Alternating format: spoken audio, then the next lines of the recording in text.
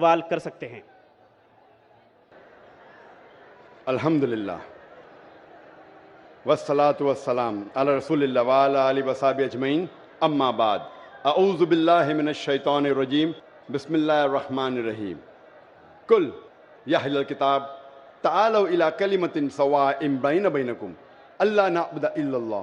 वला नुश्रिक बिही शैय्यन वला बअदन अरबाबन मिन दुनिल्लाह फ़इन तवल्लौ। फ़कुल शदु बिअन्ना मुस्लिमून रब्बि शली सदरी वयस्सिर ली अमरी वहलुल उक़्दतम मिन लिसानी यफ़क़हू क़ौली मेरे मोहतरम उल्मा, मेरे मोहतरम बुज़ुर्गों और मेरे अज़ीज़ भाइयों और बहनों, अस्सलामु अलैकुम वरहमतुल्लाहि व बरकातुहू अल्लाह सुबहाना व ताला की रहमत और बरकत आप सब पर हो। मैं लोगों से दरख्वास्त करूँगा कि अगर आप खामोशी से इस सेशन को सुनेंगे तो आपको भी इसमें फ़ायदा होगा और मुझे भी जवाब देने में आसानी होगी। मेरी दरख्वास्त है लोगों से, अल्हम्दुलिल्लाह, मैं आपकी मोहब्बत से, आपकी मोहब्बत को देख के चौंक गया। यहाँ का नज़ारा माशाल्लाह बॉम्बे के सुमैया ग्राउंड से भी बड़ा है।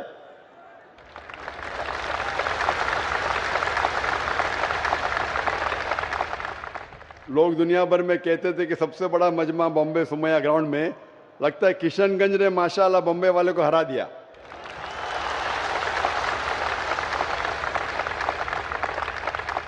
दस लाख का मजमा, माशाल्लाह। जैसे आप जानते हैं कि अक्सर मैं तकरीर और सवाल जवाब अंग्रेज़ी में करता हूँ। चंद मौक़े पे कोशिश करता हूँ उर्दू या हिंदी में बात करूँ। क्योंकि मेरे तालीम अंग्रेज़ी में हुई है तो ज़ाहिर है कि इस उर्दू या हिंदी सेशन में मैं गलतियाँ करूँगा।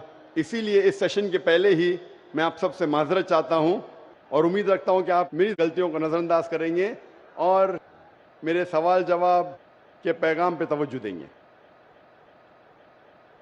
अक्सर पहले एक तकरीर होती थी और उसके बाद सवाल जवाब होता था, लेकिन हमेशा जब भी सवाल जवाब सेशन तकरीबन डबल होता था और कल भी तकरीर तकरीबन एक घंटा थी और सवाल जवाब दो घंटा। फिर भी ये दो घंटे में लोग अपनी प्यास न बुझा सके और मैं सबको मुतमिन न कर पाया। इसीलिए कोशिश करते हैं कि जब भी दो या तीन दिन का जलसा होता है तो एक दिन खसूसन सिर्फ़ सवाल जवाब के लिए दिया जाता है। उसी चीज़ को आगे बढ़ाते हुए आज का सेशन सिर्फ़ सवाल जवाब का सेशन होगा, जिसका नाम है डॉक्टर जाकिर से पूछिए। और इन अल्लाह सुबहाना ताला की मदद से मैं कोशिश करूँगा कि आपके जहन में जो सवाल है, जो शुबा है, उसका जवाब दूँ? उस शक को दूर करूँ। जैसे कि कॉर्डिनर साहब ने कहा था, शेख ने कहा था कि पहले हम सवाल पूछने का मौका देंगे हमारे गैर मुसलमान भाइयों को, क्योंकि वो हमारे गेस्ट ऑफ़ ऑनर है, हमारे खसूसी मेहमान हैं, और उनका हक मुझसे सवाल पूछने का ज़्यादा है। मुसलमान भाई तो हमेशा मिलते रहते हैं। इसीलिए इस सेशन में पहला मौका दिया जाएगा गैर मुसलमान भाइयों और बहनों को। और उनके सवाल ख़त्म होने के बाद इन वक्त रिया तो हम मुसलमान भाइयों और बहनों को मौका देंगे सवाल पूछने का। मेरी दरखास्त है गैर मुसलमान भाइयों और बहनों से। मुझे लगता है मुसलमान भाई काफ़ी आवाज़ कर रहे आप अगर इस सेशन का लुत्फ उठाना चाहते हैं तो मेरी दरखास्त है आपसे कि आप खामोशी, शांति और अमन के साथ अगर प्रोग्राम सुनेंगे और देखेंगे तो आपको और फ़ायदा होगा और मुझे भी आपके सवाल का जवाब देने में आसानी होगी।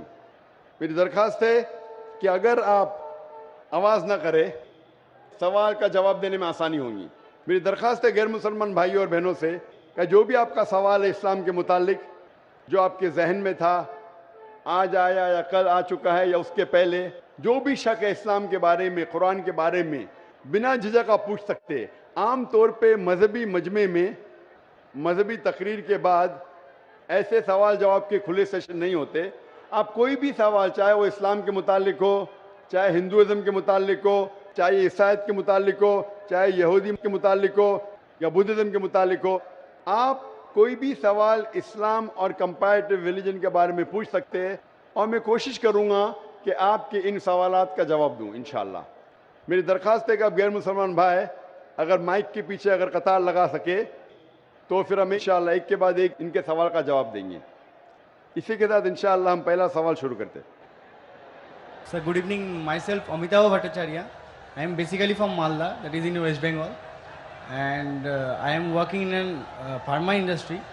I am having a question, sir, that uh, actually I don't have any sort of idea about Quran before six months, and someone give me the that Quran पढ़ उसमें बहुत कुछ है अच्छा अच्छा चीज़ है सर मैंने पढ़ा sir I am having some interest after reading the Quran but sir please help me out that how can I sir, मैं, मेरे, मैं कैसे करके और ज़्यादा इंटरेस्ट क्रिएट कर सकूँ, सर अबाउट कुरान और अबाउट इस्लामिक रीजन सर? भाई का सवाल है कि छः महीने पहले उन्हें इस्लाम के मुतालिक कोई इल्म नहीं था। छः महीने पहले उन्हें कुरान मजीद का तर्जुमा किसी ने उसे पेश किया और छः महीने पहले कुरान का तर्जुमा पढ़ा और काफ़ी प्रसन्न हुआ। वो पूछना चाहते कि किस तरीके से वो और कुरान के करीब आ सके इस्लाम के करीब आ सके और समझ सके। भाई साहब जो भी चीज़ आप कुरान में पढ़े उस चीज़ को आप मानते हैं कि हक है? यस सर ऑब्वियसली सर मैंने पढ़ा हूँ लेकिन पूरा नहीं तीन हदीस तक मैंने पढ़ा हूँ। तीन जुज तीन बारे। लास्ट वो अलबकारा जो है सर द काव बोल के वो मैंने लास्ट पूरा पढ़े हाँ? सर माशाल्लाह। भाई साहब कहते हैं कि सूर्य बकरा पढ़े जो माशाल्लाह दो जुज से ज़्यादा है सूर्य बकरा अकेला सबसे सबसे बड़ा है। सबसे बड़ा हाँ, सूरा है। यस माशाल्लाह दो सौ छियासी उसमें आयते हैं और दो से ज़्यादा पारे हैं उसमें। अल्हम्दुलिल्लाह। तो तकरीबन आपने वन फिफ्टीन कुरान यानी सात फ़ीसद कुरान तकरीबन आप पढ़ चुके हाँ। सर मेरी दरख्वास्त है कि ये जो पूरे बकरा आपने पढ़े पढ़ने के दौरान आपको उसके अंदर कुछ सही लगा गलत लगा या कैसा लगा? नहीं सर जो समझ में आया सब वो तो सभी सही लगा। तो आपको पूरे बकरा में क्या बात समझ में नहीं आई? मतलब मेरे को लगता है सर कि मैंने जो पढ़ा बस पढ़ाई कुछ याद मतलब कुछ मेरे को समझ में आया। मतलब वन परसेंट मेरे को समझ में आया। लेकिन मैंने पढ़ा पूरा। कोई मेरे को हेल्प भी किया बहुत अच्छा तरह से हेल्प किया। लेकिन सर मेरे को लग रहा है कि मेरे को और जानना चाहिए। मतलब I can go through the Quran without watching that Quran भाई साहब कह रहे कि वो चाहते और करीब आए, उन्हें पढ़ा, लेकिन वन परसेंट उनके नज़दीक वो समझे और याद रखे। भाई साहब, कुरान मजीद को पूरा समझना तो कोई भी इंसान नहीं कर सकता कि पूरे तदब्बर कुरान। जिस तरीके से कल मैंने कहा कि एक होता तजक्र कुरान, एक होता तदब्बर कुरान। आपने जब सूर्य बकरा किया तो सौ फ़ीसद सूर्य बकरा को तजक्र कुरान किया। तजक्र कुरान मतलब उसका तर्जुमा आपने पढ़ा, लेकिन तदब्बर करना मुश्किल है। जितनी बार ज़्यादा तदब्बर करेंगे, उतने बार आपको और अच्छा लगेगा। हाँ लेकिन तजक्र कुरान तकरीबन सात फ़ीसद आपने पूरा किया। सात फ़ीसद कुरान का आपने पूरा किया। और जैसे पढ़ते रहेंगे जैसे मानी जानते रहेंगे उसके ऊपर तदब्बर करेंगे उसके ऊपर सोचेंगे तो आपको और अच्छा लगेगा। मैं भी नहीं कह सकता हूँ। और आप जानते कि एक साहबा थे इब्न उमर रदिलवन हज़रत उमर के बेटे जो दूसरे खलीफा थे रदिलवन उन्होंने सूर्य बकरा के लिए सिर्फ़ आठ साल लिए आठ साल। सिर्फ़ आठ साल तक समझने में क्योंकि जितना पढ़ते थे उतना और उनके जहन खुलता था। तो आप तो सिर्फ़ छः महीने से शुरू किए। हाँ सर। आठ साल लिए तो ये कहना लेकिन कुरान मजीद का पॉइंट वन परसेंट भी आपके जहन में क्या काफ़ी है? सौ फ़ीसद जाना ज़रूरी नहीं है। पॉइंट वन परसेंट भी सूर्य बकरा का जहन में गया अल्हम्दुलिल्लाह ज़िंदगी बदल जाएँगी आपकी। मेरी दरख्वास्त है कि पढ़ने के बाद जो अहम अहम मैसेज है जो कुरान का। आप मानते हैं कि खुदा एक है? यस सर आप मानते खुदा एक है? आप मानते कि खुदा का कोई अक्स नहीं है? नहीं सर आप मानते खुदा का अक्स नहीं? आप मानते कि बुत परस्ती गलत है? हाँ सर आप मानते बुत परस्ती सही है क्या गलत है? बुत गलत है परस्ती। गलत है गलत है। मूर्ति पूजा गलत है या सही है? मूर्ति पूजा गलत है या सही actually sir the creator is only one so why actually I am having a question sir that in Hinduism there is thirty three crore of मतलब idols they are going to worship them but I just आक्स many of the Hindu brothers that can you name thirty three of the god to whom you are worshipping sir they जर can tell the name also भाई साहब ने कहा कि Hinduism में 33 crore God है, लेकिन तैतीस नाम भी नहीं बोल सकते। नाम तो तैतीस से ज़्यादा है। तैतीस से ज़्यादा नाम तो मैं आपको बोल सकता हूँ हिंदुज़म के गॉड के बारे में, जो लोग कहते हैं। लेकिन जिस तरीके से कुरान में लिखा है सुर इसरा में सूरा नंबर सत्रह, आयत नंबर एक सौ दस में, कुलिदुल्ला अबिदुररहमान अयमा तदु आप अल्लाह को रहमान से बुलाओ या अल्लाह से बुलाओ अल्लाह सुबहान ताला के सबसे बेहतरीन नाम है। लेकिन नाम सही होना चाहिए। It should not conjure a mental picture गलत सोच आपके दिमाग में पैदा नहीं होना चाहिए। और जो नाम भगवान अल्लाह ने खुद अपने आप को दिए वो नाम से पुकारना चाहिए। तो अल्लाह को दूसरे नाम से पुकारने में कोई हर्ज नहीं है लेकिन सही नाम होना चाहिए। ऐसा नाम नहीं जिससे अल्लाह की बेहरमती हो। Yes sir it should be a correct name तो उस तरीके से कुरान मजीद में मिनिमम निन्यानवे सिफात है अल्लाह सुबहाना ताला के। तो उसी तरीके से वेद जब आप पढ़ेंगे वेद के अंदर भी सिफात है इसमें मुझे कोई एतराज़ नहीं। लेकिन ये बोलना कि ये भगवान है वो गलत है। जैसा मैंने कल आपने तकरीर सुनी मेरी? कल सवाल जवाब में थे आप? नहीं सर। आप वेद जब पढ़ते हैं वेद में लिखा है यजुर्वेद। चैप्टर नंबर बत्तीस श्लोक नंबर तीन में न तस्य प्रतिमा अस्ति उस ईश्वर उस भगवान उस खुदा की कोई प्रतिमा नहीं। प्रतिमा एक संस्कृत लफ्ज है। सर जिसके मानी है अक्स। Picture. Sir photograph. Painting. Idol. Sculpture. Statue तो लिखा है यजुर्वेद में न तस्य प्रतिमा अस्ति। उस ईश्वर उस भगवान उस खुदा का कोई अक्स नहीं कोई पिक्चर नहीं कोई पेंटिंग नहीं कोई फोटोग्राफ नहीं कोई आइडल नहीं कोई स्टैच्यू नहीं कोई स्कल्पचर नहीं। तो ये आप इस बात को मानते हैं क्या? नहीं पूछता हूँ मैं। यस सर आप मानते हैं कि भगवान का कोई no structure. कोई स्टैच्यू नहीं। Yes. तो आप मानते हैं कि मूर्ति पूजा गलत है क्या सही है? Obviously according to that sir it is wrong गलत है बेशक। आप आप कुरान मजिद पढ़ने के बाद जब पढ़े आपने छः महीने से उसके बाद आप ये यकीन करते हैं कि मोहम्मद सल्लल्लाहु अलैहि वसल्लम पैगंबर है? यस सर प्रॉफिट आप मानते? यस सर आप मानते मोहम्मद सल्लल्लाहु अलैहि वसल्लम खुदा के पैगंबर है? यस सर तो आप मानते खुदा है कि आप मानते मूर्ति पूजा गलत है और आप मानते मोहम्मद सल्लल्लाहु अलैहि वसल्लम आखिरी पैगंबर है। यस आप मानते तो ये जो शर्त है ये दो शर्त के मानना अल्लाह एक है अल्लाह के अलावा कोई मामूद नहीं। और ये मानना कि मोहम्मद सल्लल्लाहु अलैहि वसल्लम उसके आखिरी पैगंबर है ये बुनियादी बात है इस्लाम में। इस्लाम में दाखिल होने के लिए बुनियादी बात है। अगर आप इसको मान ले तो आप इस्लाम में दाखिल हो सकते। बाद में नमाज़ ज़कात फिर जो चैरिटी देना रोज़ा वो सब बाद में लेकिन अगर ये दो चीज़ को आप मानते तो आप इस्लाम में दाखिल हो सकते। जैसे स्कूल में आप दखला लेते। हाँ सर बेसिक बेसिक हाँ। बेसिक पढ़ते बाद में फिर आप फ़र्स्ट सेकंड थर्ड फोर्थ आगे बढ़ते। तो इस्लाम में दाखिल होने के लिए ये शर्त है कि आप मानो कि खुदा एक है और उस खुदा के अलावा कोई मामूद नहीं है। और आप ये मानो कि मोहम्मद सल्लल्लाहु अलैहि वसल्लम आखिरी पैगंबर है। तो ये अगर आप दो चीज़ मानते हैं तो आप इस्लाम में दाखिल हो सकते हैं। यस सर तो आप चाहते हैं इस्लाम में दाखिल होना? यस सर ऑलरेडी हो चुका हूँ सर हो चुके हैं माशा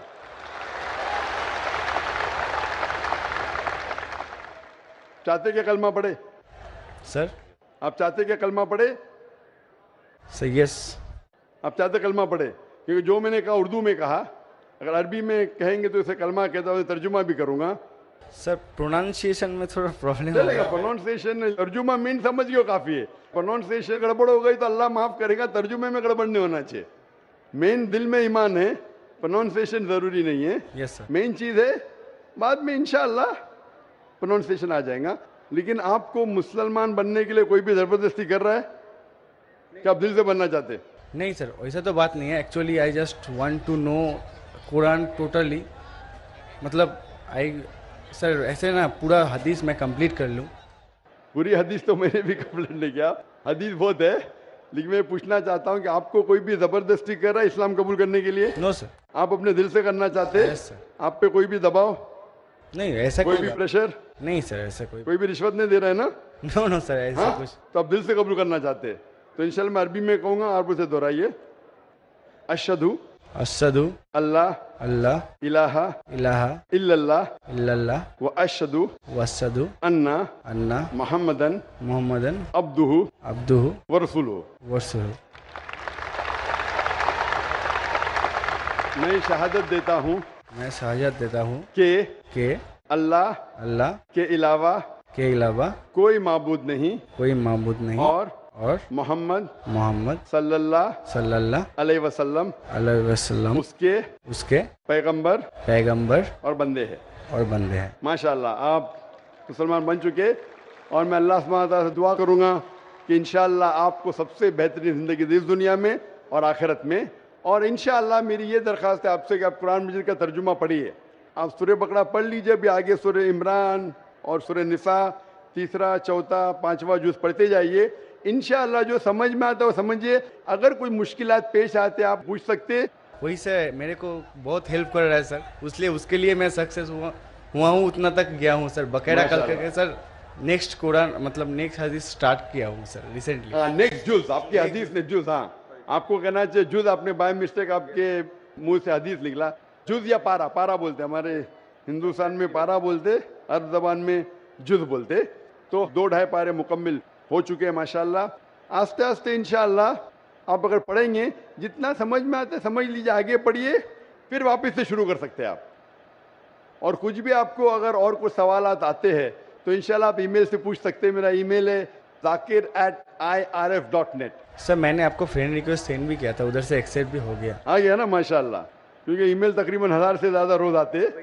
कभी कभी लेट हो जाता है उसके लिए माजरत चाहता हूँ क्योंकि demand is more than supply और आप पीस टीवी देख सकते बहुत से शक जो आपके दिमाग में आते हैं, इंशाल्लाह पीस टीवी की तकरीर देखते ही इंशाल्लाह काफ़ी दूर हो जाएँगे।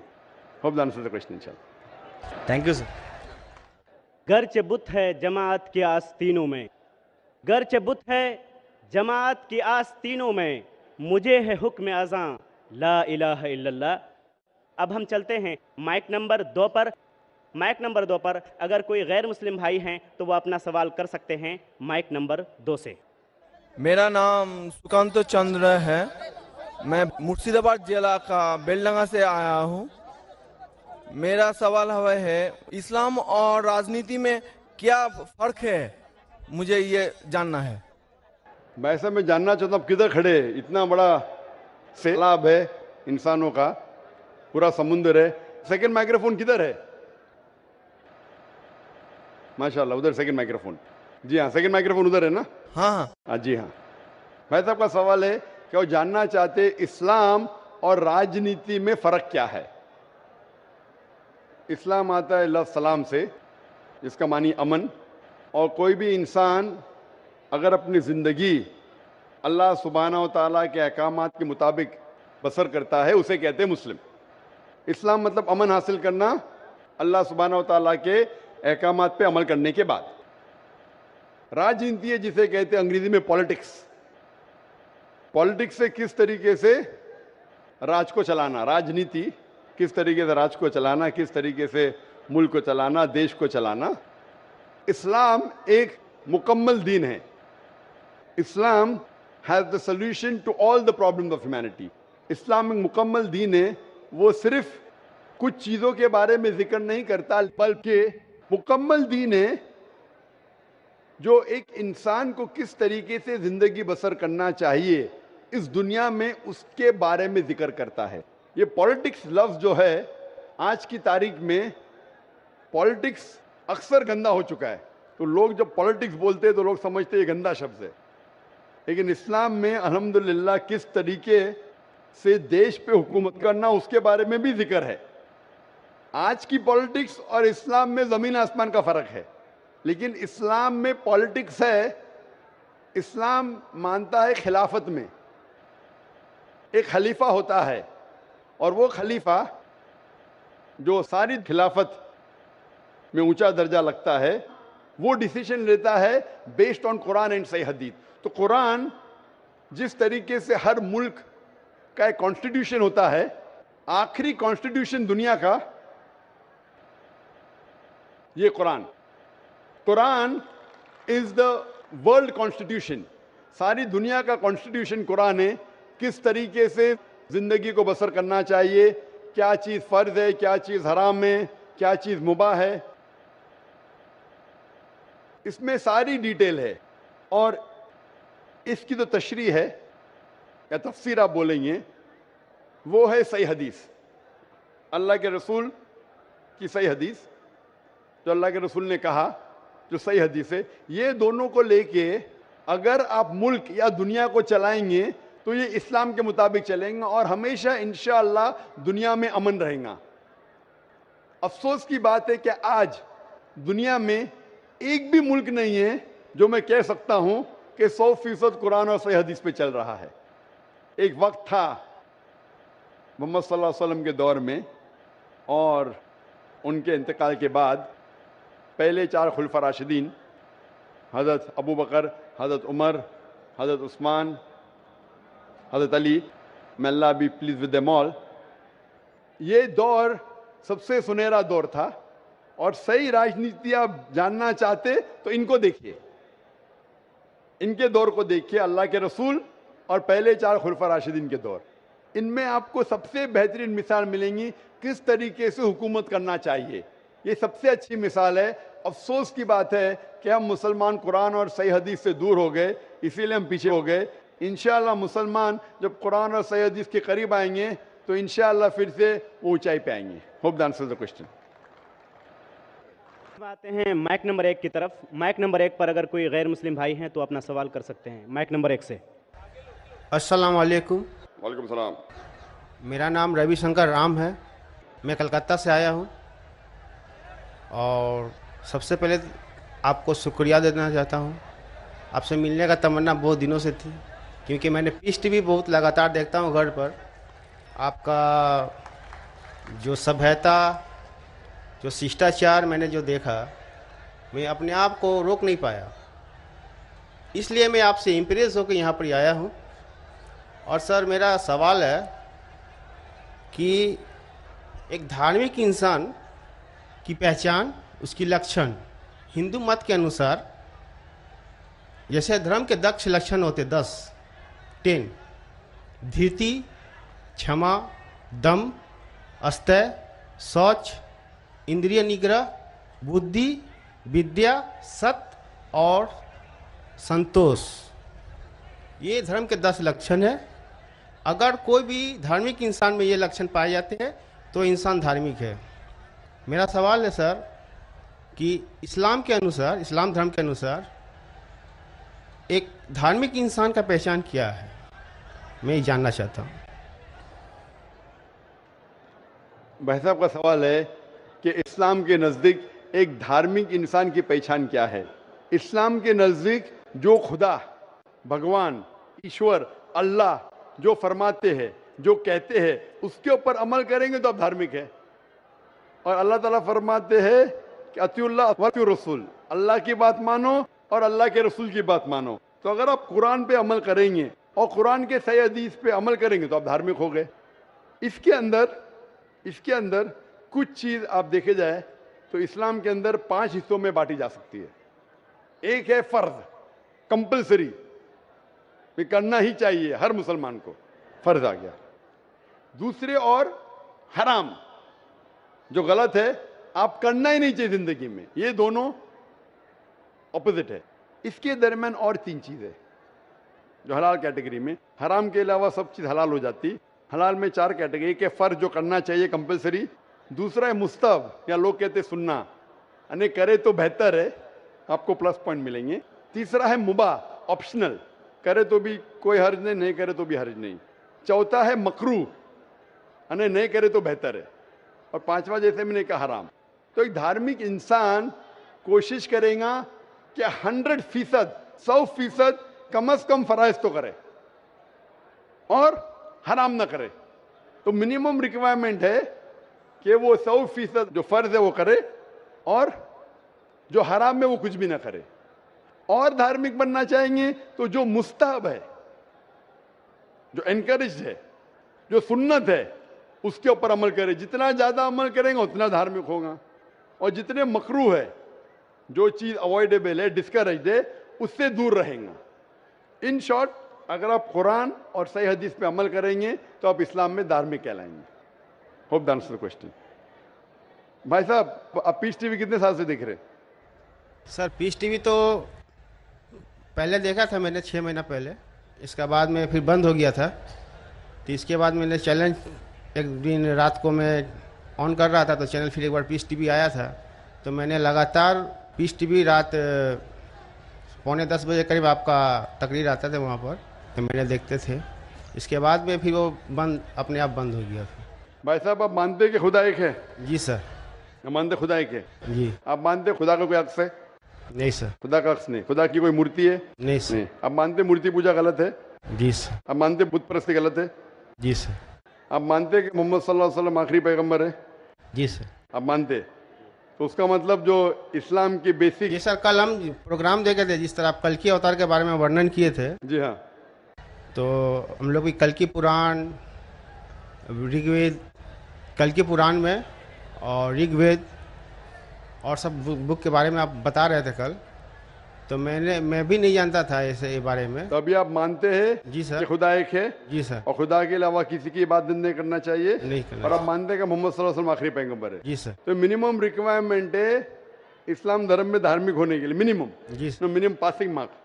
Passing mark ये है जस्ट पास। बाद में उसके बाद अमल जितना करते रहेंगे तो इंशाल्लाह तो आप चाहते हैं कि मुस्लिम बने? जी सर। आप चाहते हैं? कोई भी आप पे ज़बरदस्ती कर रहा है? No sir. वाकई नहीं ज़बरदस्ती नहीं कर रहे ना? नहीं आप मेरी मोहब्बत में आ गए तो मेरी मोहब्बत ने आपको कलकत्ता से किशनगंज खींच लाया कि मैं आप पे कोई ज़बरदस्ती नहीं कर रहा हूँ ना? नो सर आप अपने मन से जी सर और आपके दिमाग से होशो आवाज़ में इस्लाम कबूल करना चाहते हैं। जी सर तो इंशाल्लाह मैं अरबी में कहूँगा आप उसे दोहराइए इंशाल्लाह। अशदु अशदु अल्लाह अल्लाह इलाहा इलाहा इल्लल्लाह इल्लल्लाह व अशदु वशदु अन्ना अन्ना मुहम्मदन मोहम्मदन अब्दुहु अब्दहु व रसूलुहु वरसलु मैं शहादत देता हूँ मैं सादत देता हूँ कि कि अल्लाह के अलावा अल्लाह के अलावा कोई माबूद नहीं कोई माबूद नहीं और और मोहम्मद मोहम्मद सल्लल्लाहु सल्लल्लाहु अलैहि वसल्लम वसल्लम उसके उसके पैगंबर पैगंबर और बंदे हैं। बंदे हैं। माशाल्लाह, आप मुसलमान हो चुके और मैं अल्लाह से दुआ करूँगा कि इन को सबसे बेहतरीन ज़िंदगी दे इस दुनिया में और आखिरत में भी और अल्लाह ताला आपको और हिदायत दे ताकि और आप अमल कर सके। और जो आपकी ख्वाहिश है कि आप इस्लाम में और और धार्मिक बने। मेरी इल्तिजा आपसे कि आप इंशाल्लाह कुरान मजीद का तर्जुमा पढ़िए। वो ज़बान में, जो ज़बान पे आपको महारत है, हिंदी में तो हिंदी में पढ़िए, बंगाली में तो बंगाली में पढ़िए। और इंशाल्लाह इसके ऊपर अमल कीजिए। और कोई अगर आपको शक और शुबा है तो इंशाल्लाह आप ईमेल लिख सकते हैं Zakir at I dot net में। थैंक यू सर जजाकल्ला शुक्रिया। बहुत बहुत शुक्रिया। अगला सवाल माइक नंबर तीन से। वहाँ पर कोई अगर गैर मुस्लिम भाई हैं तो अपना सवाल कर सकते हैं। माइक नंबर तीन से। नमस्कार मेरा नाम हरिपद विश्वास मैं बंगाल मालदा गाजोल से आया हूँ। मैं एक रिटायर फौजी हूँ और अभी मैं प्राइमरी टीचर हूँ। हम कहीं भी देखते हैं, कोई भी धर्म में बेगुनाहों को कोई कातिल करना, जुल्म करना, ये नहीं लिखा। लेकिन हम देखते हैं, दुनिया में कहीं भी मुस्लिम हो या हिंदू हो, बेगुनाहों के ऊपर जुल्म करते हैं। वो धर्म के प्रचार पर, जहाँ पर देखिए, मुसलमान ज़्यादा है तो हिंदू के ऊपर और हिंदू जहाँ ज़्यादा है तो मुसलमान के ऊपर। तो धर्म क्या है? और ईश्वर ने अल्लाह ने क्यों नहीं एक धर्म किया और एक धर्म का नहीं किया? ये मेरा क्वेश्चन है। भाई साहब का बहुत अच्छा सवाल है। भाई साहब का सवाल है कि धर्म के नाम पे कत्ल हो रहा है। जब मुसलमान मेजॉरिटी में तो हिंदू कत्ल होता है जहाँ हिंदू मेजॉरिटी में तो मुसलमान के ऊपर कत्ल होता है। ऐसा क्यों? खुदा ने एक धर्म क्यों नहीं बनाया? बहुत अच्छा सवाल है। कुरान में लिखा है अल इमरान में सूरा नंबर तीन आयत नंबर उन्नीस में इन दीन इस्लाम।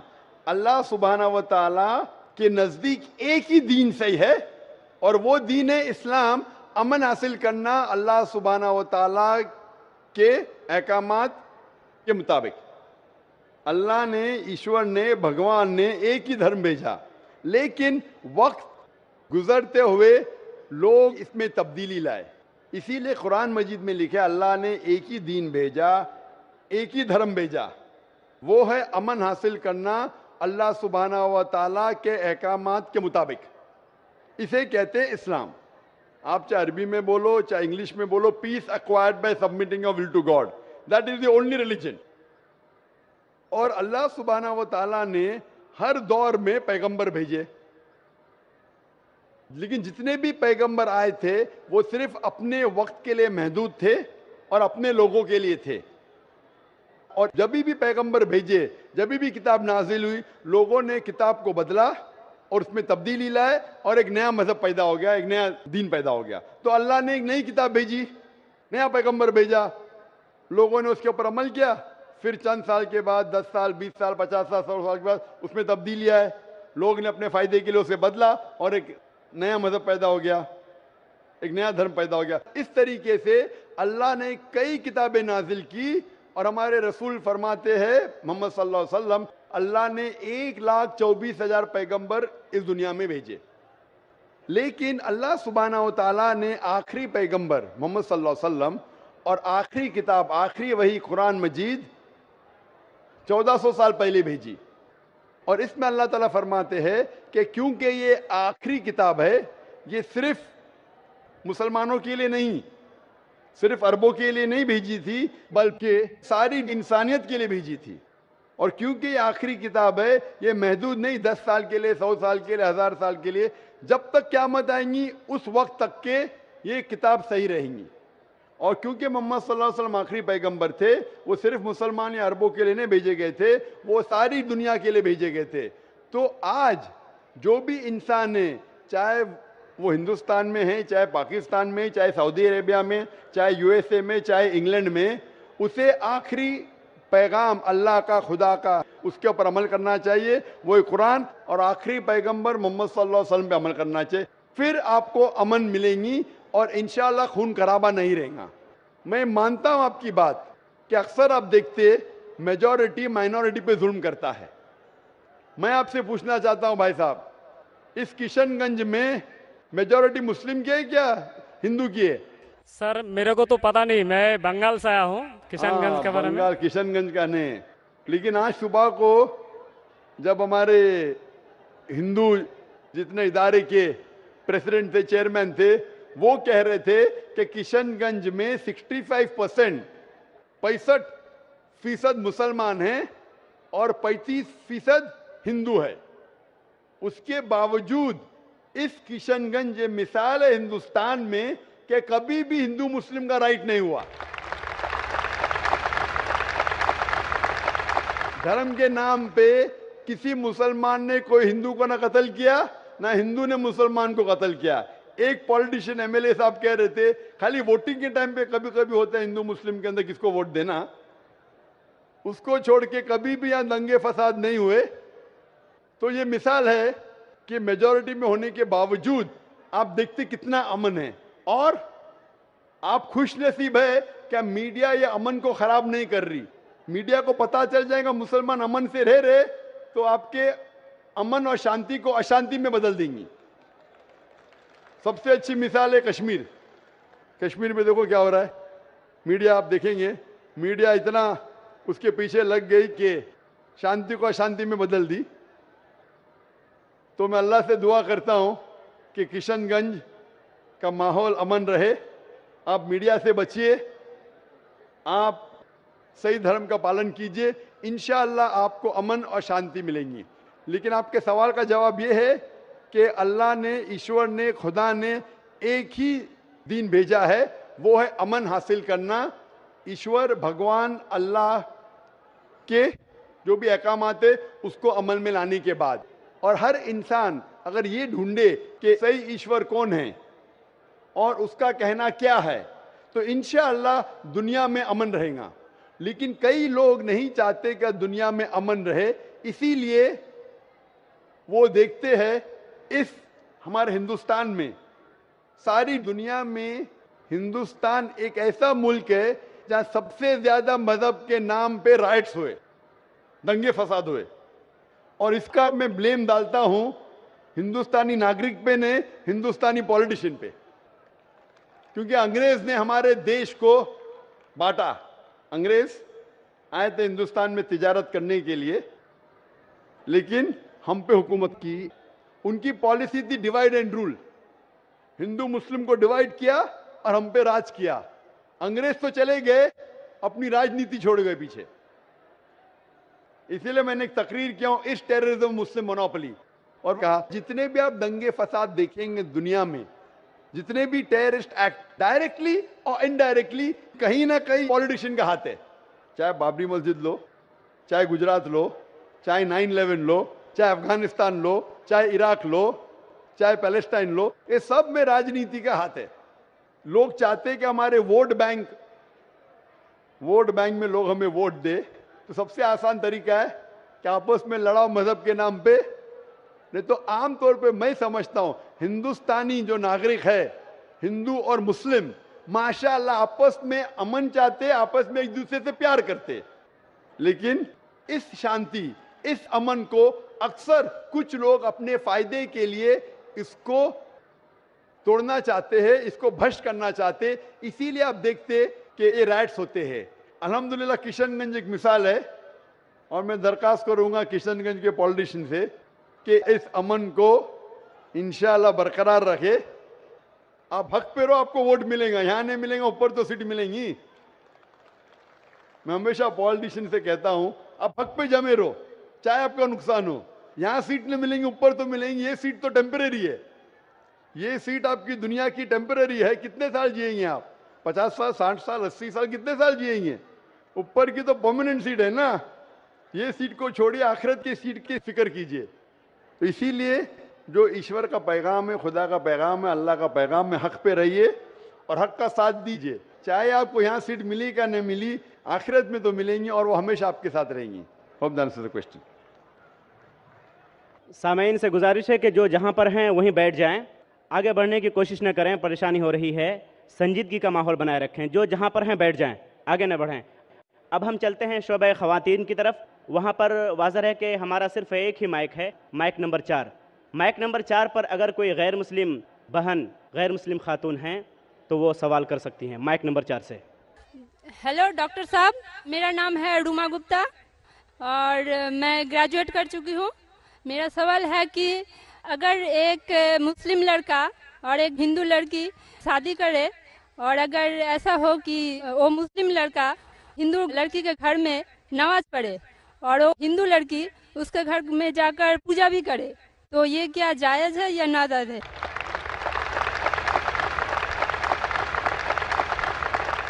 बहन का अच्छा सवाल है कि अगर एक मुसलमान लड़का हिंदू लड़की से शादी करता है तो क्या वो मुसलमान लड़का हिंदू के घर में जाके नमाज़ पढ़ सकता है? और क्या वो लड़की मुसलमान के घर में पूजा कर सकती क्या नहीं? सबसे पहले कुछ शराइत है हर चीज़ के।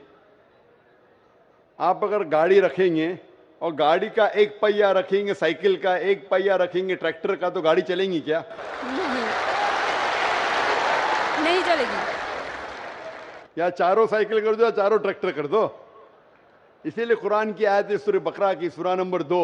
आयत नंबर 221 में अल्लाह ताला फरमाते हैं कि आप मुशरिका से शादी नहीं कर सकते जब तक वो ईमान न लाए। मतलब जो गैर मुस्लिम हैं और शिर कर रही है, उससे आप शादी नहीं कर सकते जब तक वो ईमान ना लाए।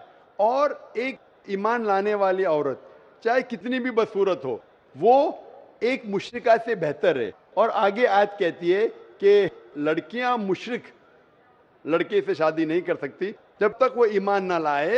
एक मोमिन आदमी चाहे कितना भी बदसूरत हो, वो बेहतर है बनस्बत जो शिर करता है। इसकी वजह यह है कि इस्लाम में लिखा है कि अगर आप खुदा के अलावा किसी को और पूछते हैं, किसी और की इबादत करते हैं, ये सबसे बड़ा गुनाह है। और अल्लाह ताला फरमाते सूरह निसा में, सूरह नंबर चार, आयत नंबर 48 में, और सूरह निसा, सूरह नंबर चार, आयत नंबर 116 में कि अल्लाह सुबहाना व ताला अगर चाहे तो कोई भी गुनाह को माफ़ कर सकता है, लेकिन शिरक को कभी नहीं माफ़ करेगा। अगर एक इंसान मुशरक जैसा मर गया तो अल्लाह ताला कभी भी उसे माफ़ नहीं कर सकता। क्योंकि मुशरक वो शख्स जो शिर करता है, और ये सबसे बड़ा गुनाह है, क्योंकि हमारा खालिक, हमारा मालिक, हमारा ईश्वर, हमारा खुदा, हमारा भगवान, अगर हम उसको गाली देंगे, ये सबसे बड़ा गुनाह है।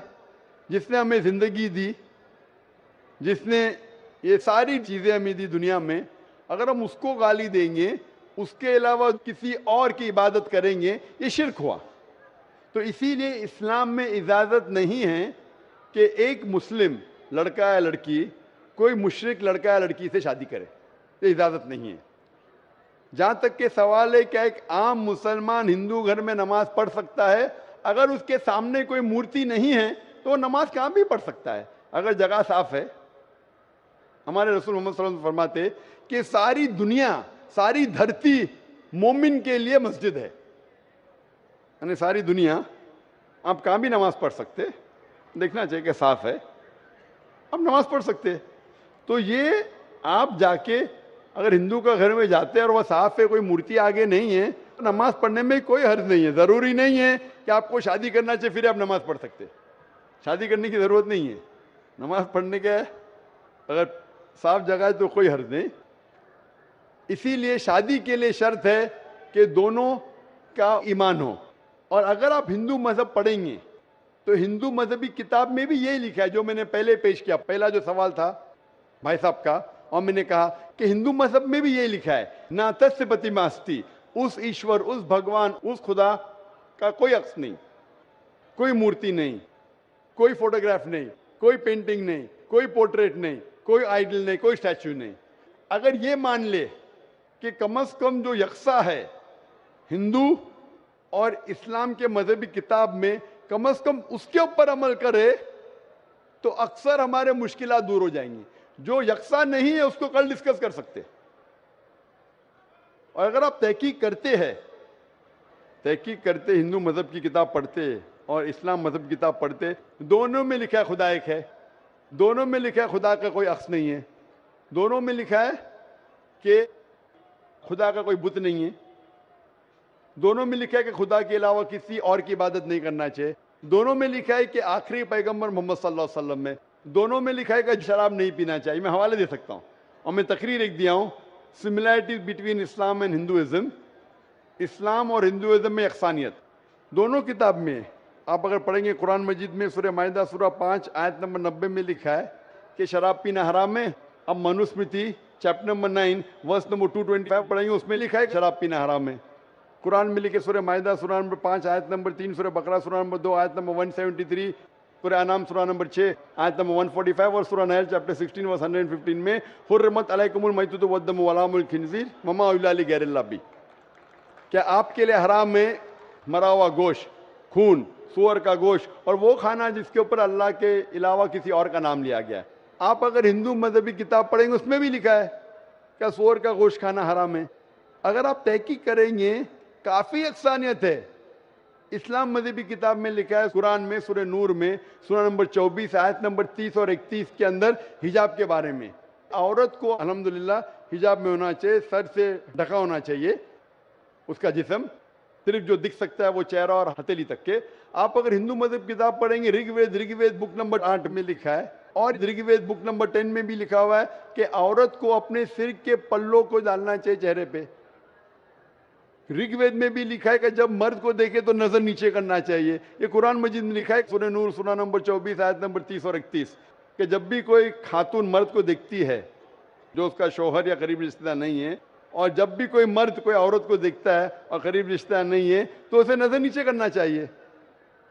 तो इस तरीके से आप तहकीक करेंगे, जो यकसानियत है उसके ऊपर तो अमल करो। तो यकसानियत हिंदू और इस्लाम मज़हब में, जो मजहबी किताब में लिखा है, लेकिन अफसोस की बात है कि मज़हब के ठेकेदार ये चीज़ का ज़िक्र ही नहीं करते। क्यों? इसीलिए मैं हवाले देता हूँ, मैं कोई आलिम नहीं हूँ, मैं कोई पंडित नहीं हूँ, मैं अपने आप को तालिब इल्म कहता हूँ। लेकिन मैं हमेशा हवाला देता हूँ तो किसी को भी शक है, किसी को भी शुबा है तो घर पे जाके चेक कर सकता है। या इंटरनेट पे जाइए, आप टाइप करो, वेद भी इंटरनेट के ऊपर है, कुरान भी इंटरनेट के ऊपर है टाइप करो रेफरेंस टाइप करो, आपको हवाला मिल जाएगा। तो इसीलिए गाड़ी चलने के लिए दोनों का जो रूल्स एंड रेगुलेशन है, वही होना चाहिए। इसीलिए दोनों लोग मोमिन होना ज़रूरी है। Hope the answer the question अब हम सवाल करने का मौका देते हैं उस गैर मुस्लिम खातून, गैर मुस्लिम बहन को, जो यहाँ हमारे पास डैश के नीचे मौजूद है। आप सवाल कर सकती हैं। अस्सलाम वालेकुम मैं रेखा मोहबत्रा मेदिनीपुर से आया हूँ। क्वालिफिकेशन एजेस, मैं पीस टीवी का टेली मैम करती हूँ। इस्लाम के बारे में मुझे इसी से मालूम नहीं है। निज मेरे क्लास के लड़का भी इस्लाम के बारे में मुझे मालूम देते रहते हैं। इन मालूम से मस्जिद तो कर अपनी मर्ज़ी से इस्लाम कबूल करने की से रखती हूँ। इस, इसलिए आप बारह में कारम इस्लामी कलमा पढ़ दे। माशाल्लाह, बहन ने कहा कि वो पीस टीवी देखती है और पीस टीवी देखने के बाद उसके पैगाम से प्रसन्न होकर वो इस्लाम कबूल करना चाहती है।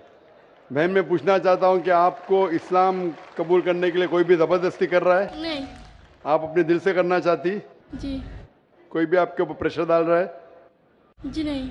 कोई भी पैसा दे रहा है आपको? नहीं। माशाल्लाह। आप दिल से करना चाहती? हाँ। आप मानते हैं कि खुदा एक है? हाँ। भगवान एक है मानते हैं आप? जी। आप मानते हैं कि मूर्ति पूजा गलत है? जी। आप मानते हैं कि मोहम्मद सल्लल्लाहु अलैहि वसल्लम आखिरी पैगंबर है? जी। आप मानते हैं? आप अपने दिल से कबूल करना चाहती? जी। कोई भी आपको ज़बरदस्ती नहीं लेके आए क्योंकि इस देश में और इस्लाम धर्म में भी किसी को ज़बरदस्ती इस्लाम कबूल कराना हराम है। इस देश में भी किसी को भी एक धर्म से दूसरे धर्म में ज़बरदस्ती करना हराम है और इस्लाम में भी हराम है। लेकिन अगर कोई दिल से चाहता है तो इस देश में कोई भी आपको रोक नहीं सकता।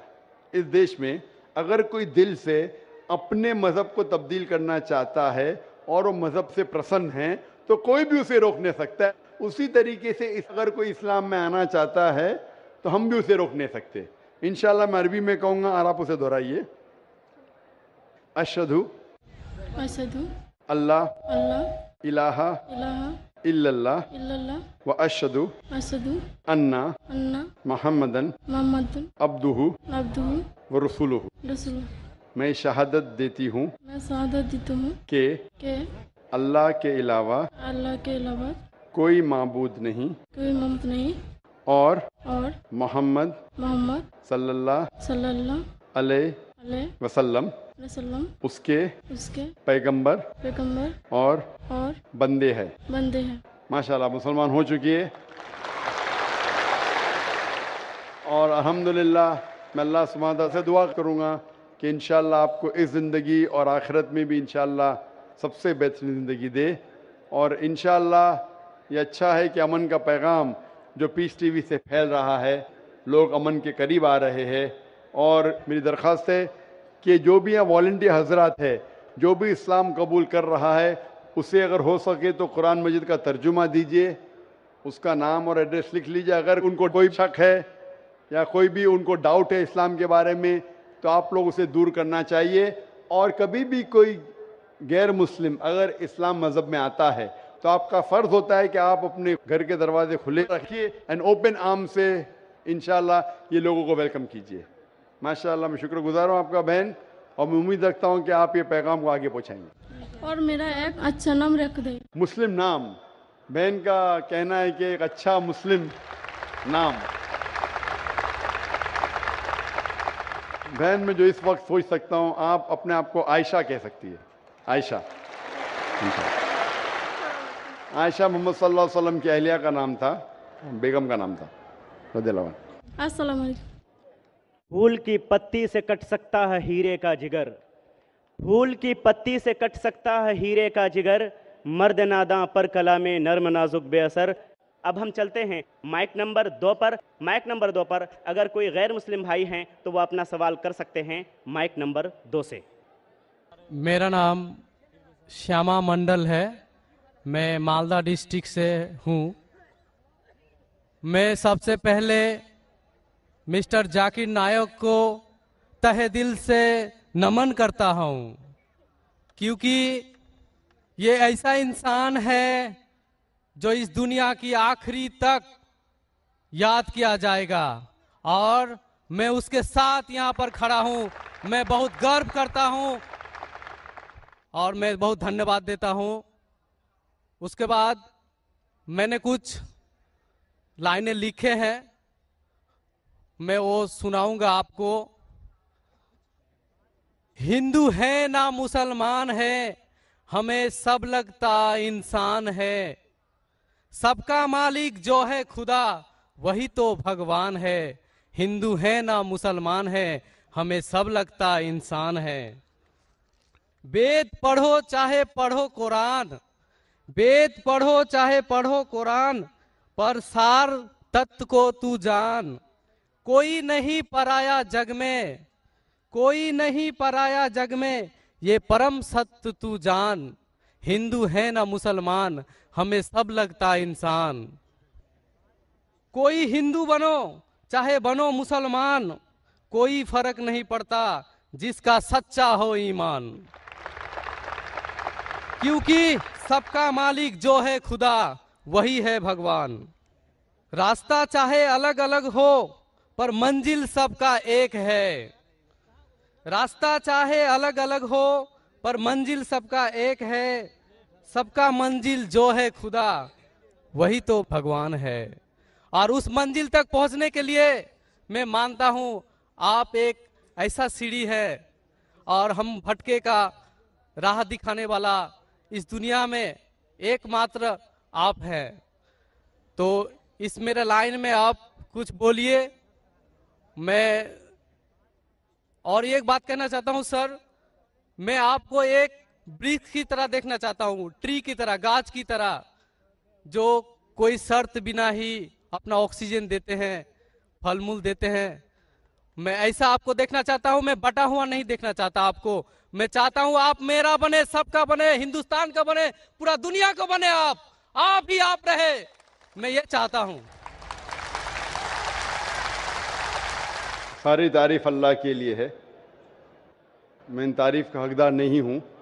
लेकिन आपने जो शेर और शायरी सुनाई, अल्हम्दुलिल्लाह, मैं ये कहना चाहता हूँ कि हिंदू भी इंसान है, मुस्लिम भी इंसान है, ईसाई भी इंसान है, सिख भी इंसान है, ये सारे इंसान हैं। और हम सारे इंसान एक ही माँ बाप से पैदा हुए, आदम और हवा अलैहिस्सलाम और उनके हम संतान हैं। इसीलिए अल्लाह ताला फरमाते हैं, कुरान मजीद में, सूरह इसरा में सूरह नंबर सत्रह, आयत नंबर सत्तर में अल्लाह ताला फरमाते वलकत कर रमना बदी आदमा। कि अल्लाह सुबहाना ताला ने सारे आदम के बच्चों पे करम फरमाया। आप चाहे इंडिया में रहो, या पाकिस्तान में, या सऊदी अरेबिया में, या यूएसए में, या यूके में, चाहे आप मुसलमान के घर में पैदा हो, या हिंदू के घर में, या ईसाई के घर में, या सिख के घर में, अल्लाह ताला ने सारे बनी आदम पे करम फरमाया। लेकिन आपने कहा कि चाहे कुरान पढ़ो या वेद पढ़ो, वेद पे अमल करो, कुरान पे अमल करो, अभी जैसे मैंने कहा कि जैसे जैसे ज़माना गुजरता गया, जितने धार्मिक किताब है, इन सारी धार्मिक किताबों में कुरान को छोड़ के तब्दीली आने लगी। और इन धार्मिक किताबों के स्कॉलर्स को आप पूछेंगे, चाहे वो वेद के स्कॉलर्स हो चाहे महाभारत के स्कॉलर्स हो, चाहे बाइबल के स्कॉलर्स हो, वो कहेंगे कि वक्त के दौरान इसमें काफ़ी इंटरपोलेशन आने लगा। तो अभी हम कैसे जाने क्या सच है, क्या हक है? मिसाल के तौर पे, अगर मैं आपको एक ग्लास दूँगा, पानी का, साफ़ ग्लास साफ़ सुथरा, उसमें एक कतरा मैं गटर का पानी डालूँगा आपके सामने। आप वो पानी को पीएँगे और घोलूँगा तो नज़र ही नहीं आएगा। एक कतरा डालूँगा गटर का पानी। नज़र आएगा? घोलने के बाद नहीं। आपको जब पता है कि एक कतरा गटर का पानी तो पियेंगे? नहीं सर। हाँ के नहीं? नहीं सर। हाँ के नहीं? नहीं। नहीं पियेंगे। अगर नहीं देखे चुपके से कोई मिला दिया तो शायद पी लेंगे। तो अक्सर लोग को ये नहीं पता है कि मिलावट हो चुकी है। मेरा ये कहना है जिस तरीके से मैंने कुरान मजीद की आयत की तिलावत की आज के इस सेशन के पहले सुल इमरान सुरा तीन आयत नंबर चौसठ में अल्लाह ताला फरमाते, ताला विला कलीमत इन सवा इम बैना बैनकुम। आओ हम उस बात की तरफ़ जो आप और हम में यकसा है। सबसे पहली बात अल्लाह नाबुदा इल्लल्लाह, कि हम सिर्फ़ एक अल्लाह सुबहाना ताला की इबादत करें। तो मेरी ये इल्तिजा है लोगों से, सारे इंसानों से, चाहे वो हिंदू हो, क्रिश्चियन हो, चाहे वो मुस्लिम हो, कि मैं उनसे कहता हूँ कि कम अज कम आप ये तो मान लो कि एक किताब सौ फ़ीसद खुदा की तरफ़ से तो वो हिंदू कहेगा, मुझे कोई एतराज़ नहीं मानने के लिए कि वेद सौ फ़ीसद खुदा की किताब है। वो क्रिश्चियन कहेगा, मुझे नहीं एतराज़ है मानने के लिए कि बाइबल सौ फ़ीसद खुदा की तरफ़ से वो मुसलमान कहेगा, मुझे कोई एतराज़ नहीं मानने के लिए कि कुरान सौ फ़ीसद खुदा की तरफ़ से तो मैं कहता हूँ कि जो ये तीनों किताबों में यकसा है, कम अज कम उस पर तो अमल करे। जो डिफरेंस है वो कल डिस्कस करेंगे। Let us agree what is common let us follow जो यक्सा है, उसके ऊपर तो किसी को एतराज़ होना ही नहीं चाहिए। तो ये फॉर्मूला लोग क्यों नहीं इख्तियार करते? लोग क्या करते नॉर्मली इंटरफेयर डायलॉग में? हिंदू पंडित आके बोलते हैं, सब धर्म, सर्व धर्म, सब धर्म एक है। वो मुस्लिम आके बोलेगा, सब धर्म एक है। वो क्रिश्चियन पादरी आके बोलेगा, सब धर्म एक है। ये सिर्फ़ नाटक है। अगर सारे धर्म एक है तो मैं हिंदू से कहूँगा अगर सब धर्म एक है तो तो मुसलमान बन जाओ। पंडित बोलेगा नहीं। वो क्रिश्चियन से कहूँगा, सब धर्म एक है। तो फादर को बोलूँगा अब हिंदू क्यों नहीं बन जाते? मैं ये नहीं कहता हूँ, सब धर्म एक है। सब धर्म में अच्छाई है। जो यक्सा है, उसके ऊपर अमल करो। जो यक्सा नहीं है, उसको डिस्कस बाद में करेंगे। कम अज कम जो यक्सा है, उसके ऊपर तो अमल करें। इसमें किसी को एतराज़ नहीं होना चाहिए। मैं कभी भी तकरीर में बाकी धर्म की गलतियाँ नहीं निकालता हूँ, उनकी अच्छाइयाँ पेश करता हूँ। जो यकसान है उसको दिखाता हूँ मैं। अनलेस कोई डिबेट में मुझे मजबूर करे तो अलग बात है। लेकिन अक्सर मैं धर्म की अच्छाइयाँ बयान करता हूँ और जो यकसान है तो उसके ऊपर अमल करने के लिए कहता हूँ। इसीलिए मैं कहता हूँ, अगर Christian means a person who follows the teachings of Jesus Christ peace be upon him अगर ईसाई अब उसे कहते हैं, जो ईसा सलाम का कहना मानता है तो मैं कहता हूँ, मैं और हम मुसलमान ईसाइयों से ज़्यादा ईसाई है। ईसाइयों से ज़्यादा ईसाई है। क्योंकि अगर आप बाइबल पढ़ेंगे, ईसा सलाम क्या फरमाते हैं, हम मुसलमान उसके ऊपर ज़्यादा अमल करते बाइबल में लिखा है कि ईसा सलाम फरमाते हैं कि एक भी चीज़ अगर आप ओल्ड टेस्टमेंट की नहीं मानेंगे तो आप जन्नत में नहीं जाएँगे। बाइबल में लिखा है, बुक ऑफ़ लेविटिकस में, कि आप सोर का गोश्त मत खाओ। Book of Deuteronomy chapter number चौदह वर्ष नंबर आठ में, book of Isaiah chapter number पैंसठ वर्ष नंबर दो से पाँच में लिखा सोर का गोश्त मत खाओ। हम मुसलमान नहीं खाते, लेकिन अक्सर अक्सर ईसाई खाते। बाइबल में लिखा है, बुक ऑफ़ एफिशियंस में, चैप्टर नंबर पाँच वर्ष नंबर अठारह में, कि आप शराब मत पियो। Book of Proverbs chapter number बीस वर्ष नंबर एक में क्या शराब नहीं पीना चाहिए। हम मुसलमान शराब नहीं पीते अक्सर, ईसाई शराब पीते। बाइबल में लिखा है Gospel of Luke chapter number two verse number twenty one में पढ़ेंगे, ईसा सलाम का खतना किया गया था आठ दिन पे। मुसलमान की खतना होती है, लेकिन अक्सर ईसाई की खतना नहीं होती। तो अगर आप देखेंगे कि ईसाई का मतलब वो, कि जो ईसा सलाम का कहना मानता है तो आप बाइबल पढ़ेंगे तो आप जानेंगे मुसलमान ईसाई से ज़्यादा ईसाई है। उसी तरीके से आप हिंदू की किताब अगर पढ़ेंगे, हिंदू मानी क्या? कि हिंदू एक्चुअली जोग्राफिकल डेफिनेशन है भाई साहब। हिंदू मीन्स ये सबसे पहले हिंदू किसने लफ्ज दिया था? अरबों ने जब हिंदुस्तान में आए उस टाइम हिंदुस्तान कहते जाता था? जब अरब आए तो यहाँ कहने लगे हिंदी हिंदी। जो ये इंडस वैली सिविलाइजेशन था, इस अतराफ में जो भी लोग रहते थे उसे अरब कहते थे हिंदी। तो ये लफ्ज हिंदू आया अरबों से। इसीलिए मैं आज भी जब जाता हूँ, सऊदी अरेबिया लोग कहते हिंदी हिंदी। हिंदी में? तो ज्योग्राफिकली मैं हिंदू हूँ। जो हिंदुस्तान में रहता है वो हिंदू है। और पंडित जवाहरलाल नेहरू कहते हैं कि ये लफ्ज हिंदू, कोई भी हिंदू शास्त्र में आपको नहीं मिलेगा जब तक मुसलमान हिंदुस्तान में नहीं आए। अरब हिंदुस्तान आने के बाद ये लफ्ज हिंदू उनके शास्त्र में आया। उसका मतलब ये लफ्ज हिंदू दिया मुसलमानों ने। तो Hindu is a geographical definition तो उस डेफिनेशन से मैं हिंदुस्तान में रहता हूँ, और मुझे गर्व है कि मैं हिंदुस्तानी हूँ। तो उस डेफिनेशन से मैं हिंदू हूँ। और अगर आप बोलते धार्मिक वेद पढ़ेंगे तो वेद को पढ़ चुका हूँ मैं। भगवत गीता पढ़ चुका हूँ, महाभारत पढ़ चुका हूँ। जो यक्षान है तो उसके ऊपर अमल करता हूँ। जो अहम है, जो ब्रह्म सूत्र हिंदुज्म का एकम ब्राह्म देवत्या नास्ते नैना नास्ते किंचन। भगवान एक ही है, दूसरा नहीं है नहीं है नहीं है, जरा भी नहीं है। तो ये कहना, मंजिल एक है और रास्ते अलग है। मंजिल एक है, लेकिन रास्ते अलग है। ये कह रहे हैं। मैं कहता हूँ कि मंजिल अगर एक है, अगर आपको जाने का है, किधर भी जाने का है तो एक डायरेक्शन ही रहेगा ना। फिर चाहे आप ट्रेन से जाओ, चाहे बस से जाओ चाहे प्लेन से जाओ, दिशा लेकिन एक होना चाहिए। आपकी दिशा ही गलत है। तो पहले मंजिल को तो तलाश करो। मंजिल क्या है? पहले वो तो जान लो। तो सारी धार्मिक किताब में मंजिल एक ही है कि खुदा एक है, उस खुदा का कोई अक्स नहीं है। और सिर्फ़ उस खुदा की इबादत करना चाहिए। और सारी किताबों में, चाहे बाइबल हो, चाहे वेद हो, कुरान में लिखा है कि आखिरी पैगंबर जो आपको रास्ता दिखाएँगे, मोहम्मद सल्लल्लाहु अलैहि वसल्लम में।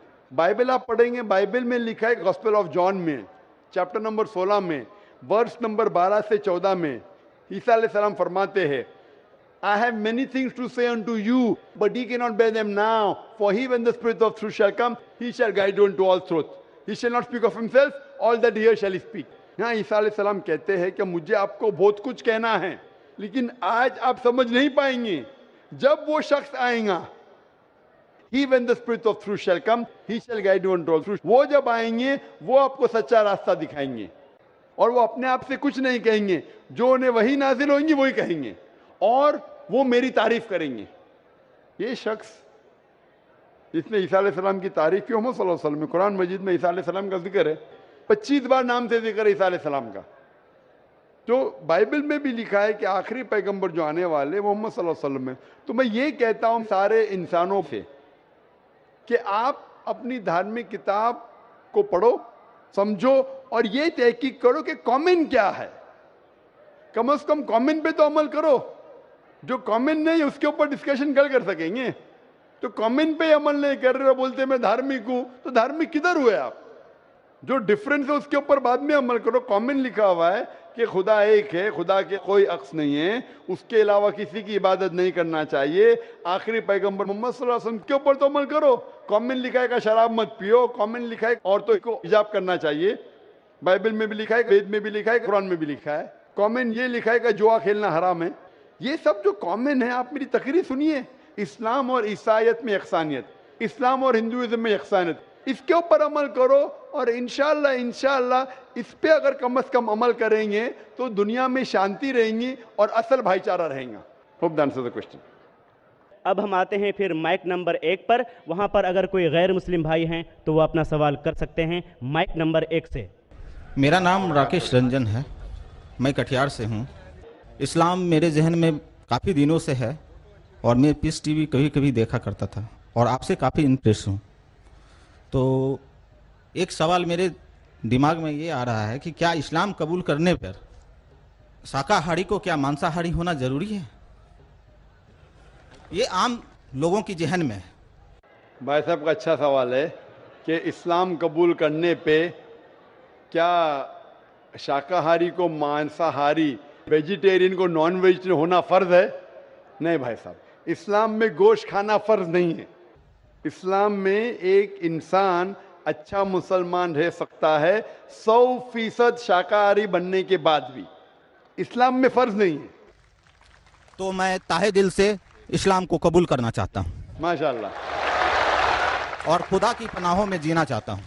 माशाल्लाह। आप मानते हैं कि खुदा एक है? जी हाँ। आप मानते हैं कि बुत परस्ती गलत है? गलत है। मूर्ति पूजा गलत है? एकदम गलत है। आप मानते हैं कि मोहम्मद सल्लल्लाहु अलैहि वसल्लम आखिरी पैगंबर है? जी हाँ। माशाल्लाह। आपको कोई भी ज़बरदस्ती करे इस्लाम कबूल करने के लिए? जी नहीं कोई ज़बरदस्ती नहीं। आप मैं अकेला हूँ। आप अपने मन से करना चाहते जी हाँ। आपको कोई भी ज़बरदस्ती नहीं कर रहा है? ज़बरदस्ती नहीं। कोई भी रिश्वत नहीं दे रहा है? रिश्वत किस चीज़ क्या देगा? पूछ रहा हूँ क्योंकि जी नहीं। एक बार ऐसा हुआ था पूना के अंदर माशाल्लाह उन्नीस लोग उन्नीस लोग ने माशाल्लाह इस्लाम कबूल किया। तो पुलिस जाके पूछी तो डॉक्टर साहब ने कितने डॉलर्स दिए आपको? तो इसीलिए मैं सब लोग के सामने पुलिस के सामने ही पूछ रहा हूँ। तो हक की बात के लिए डर क्या? तो आप अपने दिल से करना चाहते हैं, और गोश्त खाना इस्लाम में फ़र्ज़ नहीं है। फ़राइज बहुत कम है। इस्लाम में फ़राइज और हराम बहुत कम है। लोग समझते बहुत चीज़ फ़र्ज़ है। और एक किताब है क्या? सत्तर मेजर सिन में बड़े गुनाह सत्तर। तो ये सत्तर चीज़ में सत्तर जो मेन फ़र्ज़ और हराम लिखा है उसके अंदर, कुल मिला के और हुई हैं। लेकिन मेन ये है तो इसके अंदर कहीं भी नहीं लिखा है कि गोश्त खाना फ़र्ज़ लोग को ये गलत फहमी है कि मुसलमान को गोश्त खाना ही चाहिए। हाँ इजाज़त है। इजाज़त वेद में भी है इजाज़त कुरान में भी है। अगर आपको टेस्टी लगता है खाओ नहीं टेस्टी लगता मत खाओ। आपको अगर पसंद नहीं आता मत खाओ। तो आप अपने खुश आवाज़ से इस्लाम कबूल करना चाहते हैं। जी हाँ। तो इंशाल्लाह मैं अरबी में कहूँगा और आप उसे दोहराइए। अशहदु असदु अल्लाह अल्लाह इलाहा इलाहा इल्लल्लाह। इल्लल्लाह। अशदु वसदु अन्ना अन्ना मोहम्मदन मोहम्मदन अब्दुहु अब्दुहु व रसूलुहु वसलु मैं शहादत देता हूँ मैं शहादत देता हूँ कि कि अल्लाह के अलावा अल्लाह के अलावा कोई माबूद नहीं कोई माबूद नहीं और और मोहम्मद मोहम्मद सल्लल्लाहु सल्लल्लाहु अलैहि अलैहि वसल्लम वसल्लम उसके पैगंबर उसके पैगंबर और बंदे हैं। बंदे हैं। माशाल्लाह आप मुस्लिम हो चुके और आप ज़िंदगी भर अगर शाकाहारी भी रहेंगे तो कोई हर्ज नहीं है। थैंक यू गोश्त खाना फ़र्ज़ नहीं है। और अल्हम्दुलिल्लाह आप कुरान मजीद का तर्जुमा पढ़िए और मैं ऑर्गेनाइज से दरख्वास्त करूँगा कि जितने भी गैर मुसलमान जो इस्लाम कबूल कर रहे और नहीं भी कबूल कर रहे सब लोग को हो सके तो इन तर्जुमा दीजिए कुरान मजीद का और उनको पढ़ने दीजिए और इन मैं दुआ करूँगा अल्लाह सुबहान ताला से कि आपको और हिदायत दे और इस दुनिया और आखिरत में सबसे बेहतरीन ज़िंदगी दे। धन्यवाद। आईन जवा मर्दा, आईन जवा मर्दा, हक गोई व बेबा की आईन जवा मर्दा, हक गोई व बेबा की अल्लाह के शेरों को आती नहीं रूबाही। अगला सवाल माइक नंबर दो से। वहाँ पर अगर कोई गैर मुस्लिम भाई मौजूद हैं तो अपना सवाल कर सकते हैं माइक नंबर दो से। डॉक्टर साहब को मेरा एवं सभी मोमिनों को मेरा सत सत नमन। पीने का क्या मज़ा है? जो छुप छुप के पी गई। इस्लाम नाम जाम की है, इसे सबको दिखा के पी। पीते हैं लोग अक्सर बोतल की ये शराब। ऐसा है, डॉक्टर साहब, मैं अपने आप से बोल रहा हूँ। मैं अपने आप से बोल रहा हूँ। पीते हैं लोग अक्सर बोतल की ये शराब। हबसो हुबसो की, की आग को दिल से बुझा के पी। इसीलिए मैं आपके प्यार में और आपके प्यार ने कहीं हमारी जन्मभूमि समस्तीपुर डिस्ट्रिक्ट के दलसिंह सराय प्रखंड में एक छोटा सा पार पंचायत है। उस पंचायत का मैं निवासी मेरा नाम जानकी दास। उतना दूरी से खींच लाया। धन है यह किशनगंज की धरती और मैं अपने मर्ज़ी से, सच्चे मन से इस्लाम धर्म कबूल करूँगा।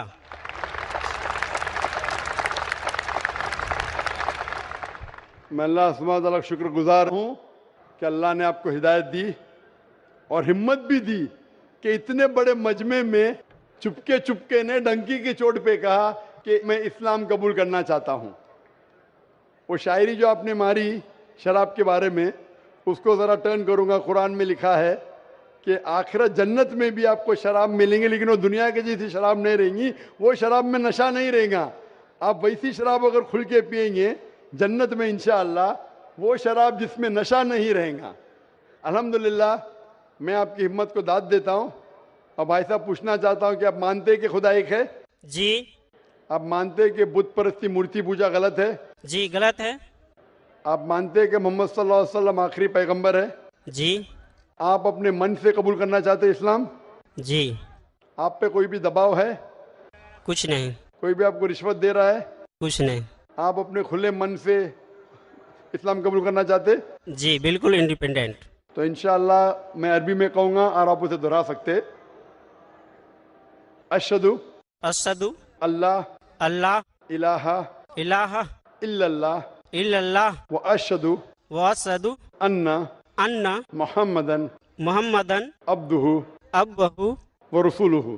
व सरुलु मैं शहादत मैं शहादत देता हूँ।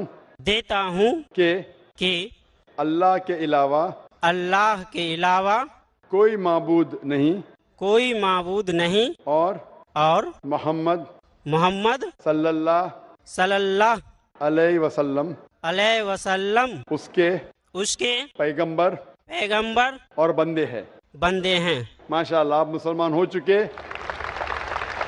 और इंशाअल्लाह अल्लाह से दुआ करता हूँ कि आपको इंशाअल्लाह इस ज़िंदगी और आखिरत में भी सबसे बेहतरीन ज़िंदगी दे। और मैं दुआ करता हूँ कि आपको और हिदायत दे और आपके ज़रिए आपके और दोस्तों पड़ोसी को इंशाअल्लाह हक के रास्ते पे लेके आए। डॉक्टर साहब एक मिनट। मेरा नाम जानकी दास है तो मैं अब से अपना नाम क्या रखूँ? भाई साहब ने कहा कि मैं उनके लिए नाम दूँ। जो नाम अभी जो जहन में आ रहा है कि आप अपने आप को उमर कह सकते हैं, उमर। दाराओ सिकंदर से वो मर्द फ़कीर ओला दाराओ सिकंदर से वो मर्द फ़कीर ओला हो जिसकी फ़कीरी में बू असदुल्लाही, जो भी इंसान हक़ को जानने के लिए और हक़ को पाने के लिए जुरत व हिम्मत से काम ले, यकीनन वो इंसान काबिल मुबारकबाद है। हम उनको मुबारकबाद पेश करते हैं। हम चलते हैं माइक नंबर चार पर। वहाँ पर अगर कोई गैर मुस्लिम खातून गैर मुसलमान बहन हैं वो सवाल करना चाहती हैं तो अपना सवाल कर सकती हैं। माइक नंबर चार से। हेलो?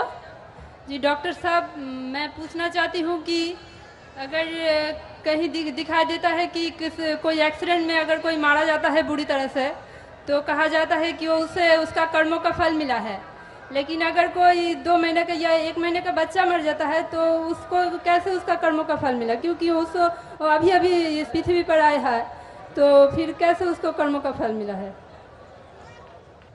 बहन का सवाल है कि अगर कोई इंसान एक्सीडेंट में मारा जाता है तो बोलते हैं कि उसे कर्मों का फल मिला है।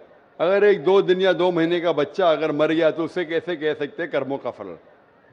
ये सवाल एक अहम सवाल था। और आप देखेंगे धार्मिक किताब, चाहे कुरान या वेद में, कुरान में लिखा है कि इंसान इस दुनिया में आएँगे, इस दुनिया में जिएँगे, और ये दुनिया आपके लिए इम्तिहान है। फिर आप मर जाएँगे, फिर आपकी अगली ज़िंदगी आखिरत में होंगी।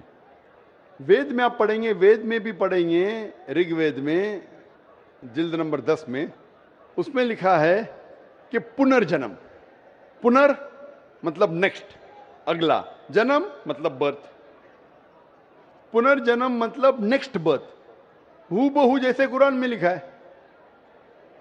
कुरान में लिखा पुनर्जन्म नेक्स्ट बर्थ लेकिन जो वेद के विद्वान इसको मान गए, लेकिन फिर ये कहने लगे, ठीक है, खुदा, ईश्वर, भगवान, अल्लाह, वो तो जस्ट एकदम, वो नाइंसाफी नहीं कर सकता है, नाइंसाफी नहीं देख सकता है।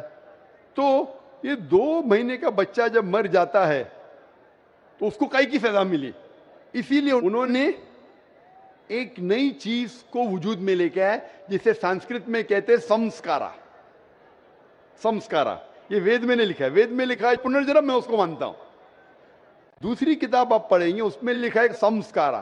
Sanskara means cycle of birth and rebirth birth and rebirth संस्कारा मतलब आप दुनिया में आएँगे, फिर मरेंगे, फिर आएँगे, फिर मरेंगे, फिर आएँगे।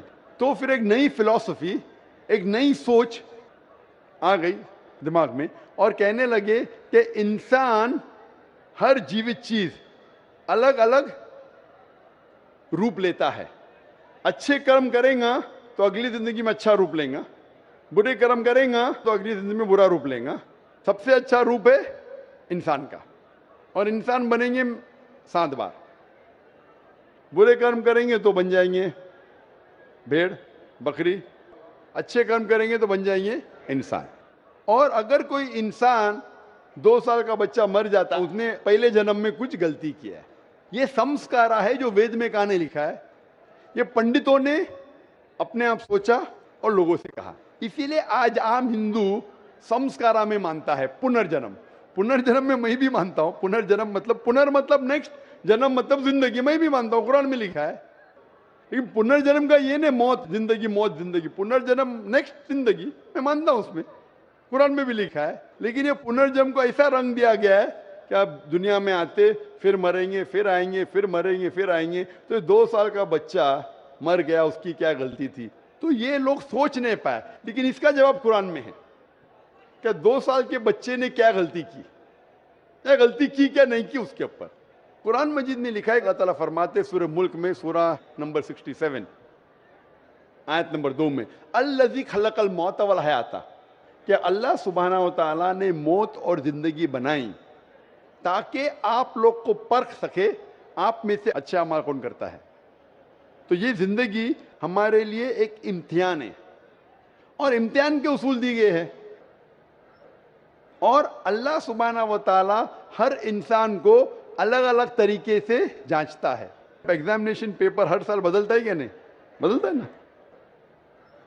अगर एग्जामिनेशन पेपर कठिन है क्वेश्चन पेपर तो उसका जो करेक्शन है, वो एग्जामिनर आसान करता है। अगर एग्जामिनेशन पेपर आसान है तो करेक्शन कठिन होता है। तो इसी तरीके से कुछ लोग को अल्लाह ने गरीब बनाया कुछ लोग को अमीर बनाया, कुछ लोग को सेहतमंद बनाया, कुछ लोग को बीमार बनाया। किधर भी नहीं लिखा है कुरान में क्या गरीब इंसान अच्छा है क्या अमीर इंसान अच्छा या सेहतमंद जन्नत में जाएगा, या बीमार जन्नत में जाएगा। अल्लाह ताला जांचना चाहता है कि अगर मैं इसको अमीर बनाया तो कुरान का उसूल है, उसको जक़ात देना चाहिए। ढाई फ़ीसद अपने निसाब से ज़्यादा जितना पैसा उसके पास है पचासी ग्राम सोना से ज़्यादा पैसा है। ढाई फ़ीसद उसको हर साल, हर कमरी साल उसको देना चाहिए जक़ात में। अमीर तो बन गया। वो गरीब आदमी को ज़ीरो देने का। तो जक़ात के सवाल जवाब में उस गरीब इंसान को सौ में से सौ मार्क्स। वो अमीर इंसान शायद देगा ही नहीं तो ज़ीरो मिल गया, बेचारा फेल हो जाएगा। या हो सकता है कि आधा देता है तो तो कम मार्क्स मिलेंगे। तो यहाँ हम बोलते गरीब इंसान, अरे बेचारा बेचारा क्या, उसको सौ में से सौ मार्क्स मिल गए। जक़ात में उसको सौ फ़ीसद मार्क्स वो अमीर इंसान के लिए इम्तिहान है। इसीलिए अल्लाह के रसूल फरमाते कि गरीब इंसान को जन्नत जाना और आसान है बनस्बत अमीर को। और जितने साहबा जो अमीर थे, उनसे पूछता ज़्यादा होंगी। साहबा थे, अल्लाह के रसूल के करीब थे, फिर भी उनकी पूछताछ ज़्यादा हुई। अल्लाह ने पैसे दिए, क्या किया उसका तुमने? आप समझ रहे ना? तो इसीलिए अल्लाह ताला डिफरेंट लोग को डिफरेंट तरीके से टेस्ट करता है। कुछ आदमी को अच्छी सेहत देता है, कुछ आदमी को बीमार बनाता है। अभी एक इंसान है जो शादी करता है। दोनों मियाँ बीवी अल्लाह को मानते हैं, अच्छे काम करते उनका बच्चा पैदा होता है विद कंजेनाइटल हार्ट डिज़ीज़ दिल की बीमारी से पैदा होता है। अभी वो बच्चा पैदा हुआ, दो दिन का बच्चा है। उसको दिल की बीमारी क्यों? अल्लाह ताला टेस्ट कर रहा है उसके माँ बाप को। कुरान क्या आते है कि तुम्हारे बच्चे, तुम्हारी दौलत, तुम्हारे लिए इम्तिहान है, एक फितना है। फितना अरबी में मानिए इम्तिहान, उर्दू में फितना के दो मानी होते एक होता है फितना, एक होता है इम्तिहान। तो कुरान मजीद में फितना जब कहा गया, वो इम्तिहान है। आपके बच्चे, आपकी दौलत आपके लिए इम्तिहान है। ज़्यादा दौलत है तो खैरात में देना चाहिए। बच्चे है तो आपके लिए इम्तिहान है। तो अल्लाह ताला टेस्ट करना चाहते उन मियाँ बीवी को कि अगर मैं उनके लिए ऐसा बच्चा पैदा करूँ, जिसको हार्ट डिज़ीज़ है, फिर भी वो मेरे पे ईमान लाते क्या नहीं? जितनी कठिन इम्तिहान, उतनी डिग्री ऊँची। आप बीए के लिए अपेयर होंगे तो आपको सिंपल ग्रेजुएशन बीए मिलता है। अगर एमबीबीएस के लिए अपेयर होते, जैसा पास होता है आपके नाम के आगे लगता है doctor but MBBS exam pass करना बीए से बहुत कठिन है। मैं भी एमबीबीएस पास किया, छोड़ दिया लेकिन। क्योंकि मैं डॉक्टर से और अच्छे मैदान में आ गया, दावत के मैदान में आ गया। वो जो कह रही है बहन, क्या वो दो साल के बच्चे की क्या गलती, क्या उम्र क्या? कभी भी कभी भी कुछ भी परेशानी किसी इंसान को आती है तो दो चीज़ हो सकती है। हो सकता है कि वो उसके लिए पनिशमेंट है। पनिशमेंट या उसके लिए इम्तिहान है, एक टेस्ट है। अगर मुश्किलात पेश आती है, हो सकता है कि वो सजा है उसके लिए या इम्तिहान है। अगर वो इंसान सही रास्ते पे है तो उसके लिए इम्तिहान है। अगर गलत रास्ते पे तो उसके लिए सजा है। तो हर इंसान को जब भी मुश्किल पेश आती है, उसे अपने गरेबान में झाँक के देखना चाहिए, मैं कुछ गलती कर रहा हूँ क्या नहीं? मैं कुरान और हदीस के मुताबिक चल रहा हूँ क्या नहीं? अगर चल रहा हूँ तो बोलना अलहमदिल्ला ये मेरा इम्तिहान है। अगर नहीं चल रहा हूँ तो भाई चलना शुरू कर। उसी तरीके से कुछ भी अच्छी चीज़ ज़िंदगी में होती, वो दो हो सकता है। इधर ये रिवॉर्ड है रिवॉर्ड या आपके लिए टेस्ट है। हो सकता है कि आपके लिए कोई इनाम है, या आपके लिए इम्तिहान है। तो ये जो टेस्ट होता है, एक इंसान कार एक्सीडेंट में मर जाता है। तो अल्लाह ताला बोलता है, ये इंसान का टेस्ट है चालीस साल के लिए। चालीस साल जो पूरा हो जाता है उसका टेस्ट खत्म, घंटी बच जाती। वो एक्सीडेंट में मर गया। वो बच्चे का इम्तिहान दो साल के लिए था। वो बच्चा मासूम है। कुछ गलती नहीं की वो जन्नत में जाएगा। टेस्ट था उसके वालदेन के लिए। उसके माँ बाप के लिए। कि माँ बाप जब दो साल का बच्चा मरता है, फिर भी अल्लाह पर यकीन रखते क्या नहीं? तो वो बच्चा अगर कोई गुनाह नहीं करता, वो डायरेक्ट जाता है जन्नत में। वो माँ बाप का टेस्ट है। कि वो बच्चा मरने के बाद फिर भी अल्लाह पे यकीन रखते हैं क्या नहीं? तो वो उनके लिए इम्तिहान है। किधर भी नहीं लिखा है कुरान हदीस में कि अगर वो बच्चा दो साल का है कि उसके लिए सजा है। वो सजा किधर उसका इम्तिहान खत्म हो गया। दो साल तक इम्तिहान था, टेस्ट पेपर खत्म। और हर बच्चा जब पैदा होता है, वो मासूम होता है। बच्चा अगर मरा तो इंशाल्लाह वो जन्नत में जाएगा। बड़े होने के बाद जब अल्लाह आपको जहन देता है, आपको सोचने की कुवत देता है आप डिसीशन खुद ले सकते हैं। फिर, अगर आप गलती किए तो आप जिम्मेदार है। अगर अच्छे काम किए तो आप जिम्मेदार है। इसीलिए जब आप बालिग होते हैं तो फिर आप पे ज़िम्मेदारी होती है कि आप अल्लाह सुबहाना ताला खुदा, ईश्वर की बात पे अमल कर रहे हैं क्या नहीं? आज इतना बड़ा मजमा है माशा लाखों लोग, पाँच लाख, दस लाख कितने पता नहीं। लेकिन माशा हज़ारों की तादाद में गैर मुस्लिम भी है। हज़ारों की तादाद में गैर मुसलमान भी है। आपने मेरा पैगाम सुना। अभी आप जब घर जाएँगे तो आपसे पूछ भी होंगी ना ऊपर से कि आपने पैगाम सुना, अमल किया कि नहीं? अगर पैगाम सही नहीं लगा तो सवाल क्यों नहीं पूछे? अगर सही लगा तो अमल क्यों नहीं किए? तो उस तरीके से अल्लाह ताला इम्तिहान लेता है लोगों का। अगर पैगाम सुनने के बाद फिर भी आप अमल नहीं करे तो आखिरत में आप जवाब क्या देंगे? आप ये नहीं बोल सकते ना, मुझे किसी ने नहीं कहा। वो था एक जाकिर आदमी जो था, मुंबई से आया था। उसने तो कहा तो आपने क्यों नहीं उसके ऊपर अमल किया? अगर उसका पैगाम गलत था तो क्यों ने उसे पूछा? तो मैं मेरा पैगाम पहुँचाने के अलावा आपको मौका देता हूँ भाई पूछने के लिए। आप पूछ सकते। तो मेरी ज़िम्मेदारी पूरी। फजक्र नमंत मुजक्र अल्लाह ताला कहते हैं कि रसूल से, चैप्टर नंबर 88 सूर्य गाशिया में, वर्स नंबर 21 22 फजक्र नमंत मुजक्र आपका काम है पैगाम पहुंचाना। हिदायत देना अल्लाह के हाथ में। तो मैं सिर्फ़ पैगाम पहुँचा रहा हूँ। तो उस बच्चे की कोई गलती नहीं, ना उसने कुछ गुनाह किया। वो टेस्ट है, इम्तिहान है उसके वालदेन के लिए। जिस तरीके से कुरान में कहा गया है कि आपके बच्चे, आपकी दौलत आपके लिए इम्तिहान है। खूब ध्यान से क्वेश्चन डॉक्टर साहब, मैं बंगाल से हूँ और मुर्शिदाबाद जिला से हूँ। मैं अपने मन से इस्लाम को कबूल करना चाहता हूँ।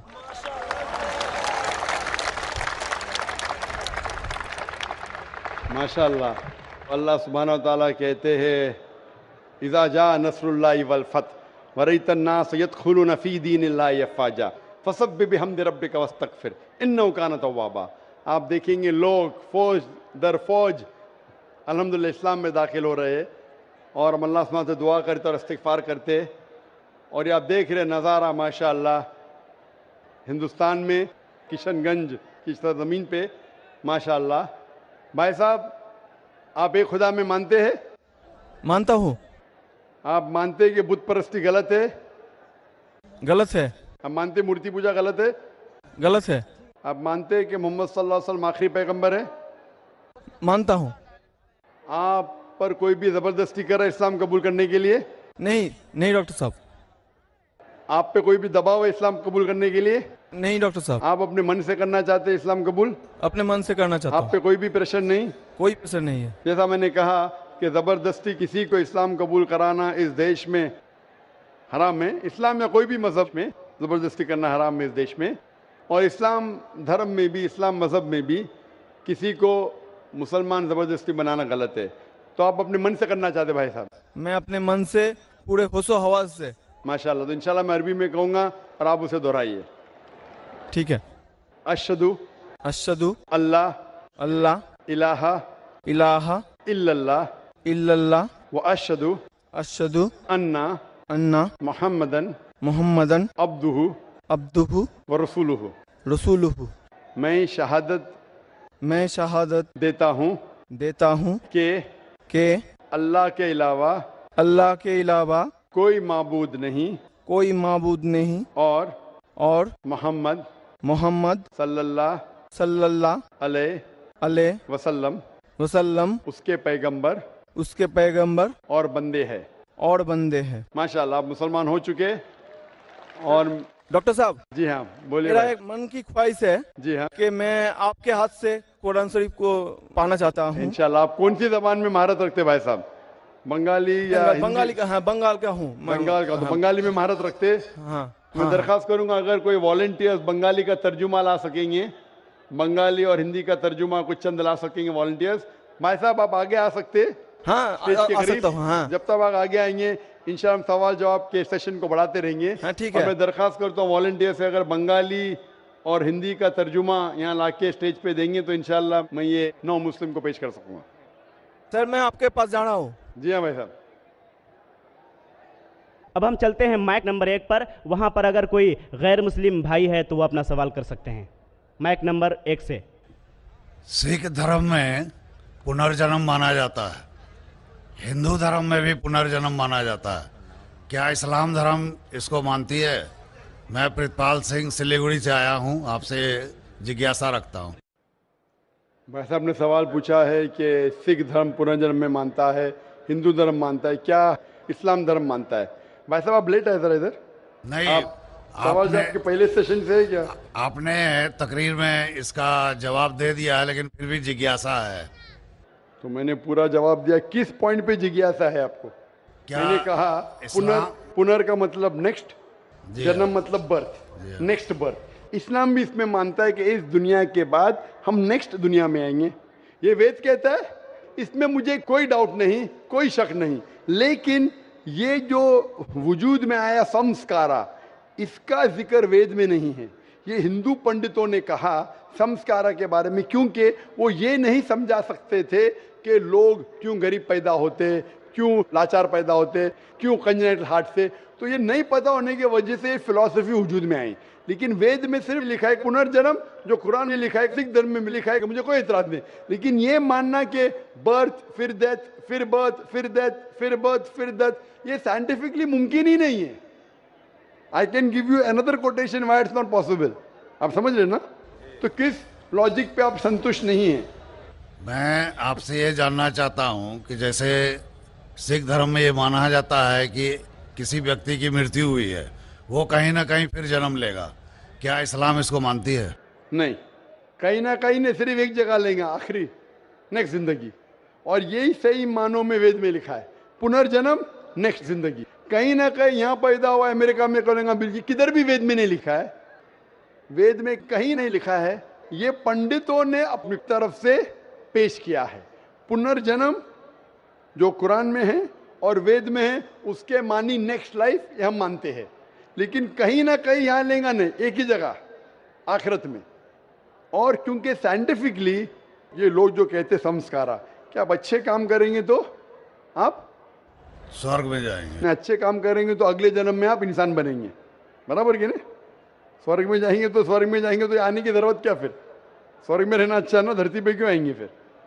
कुछ मतलब में स्वर्ग में जाके फिर वापस आते। अगर स्वर्ग में जाके इनाम मिल गया तो यहाँ वापस क्या आते? अगर नर्क में गए तो वापस यहाँ ज़िंदगी में आके फ़ायदा क्या?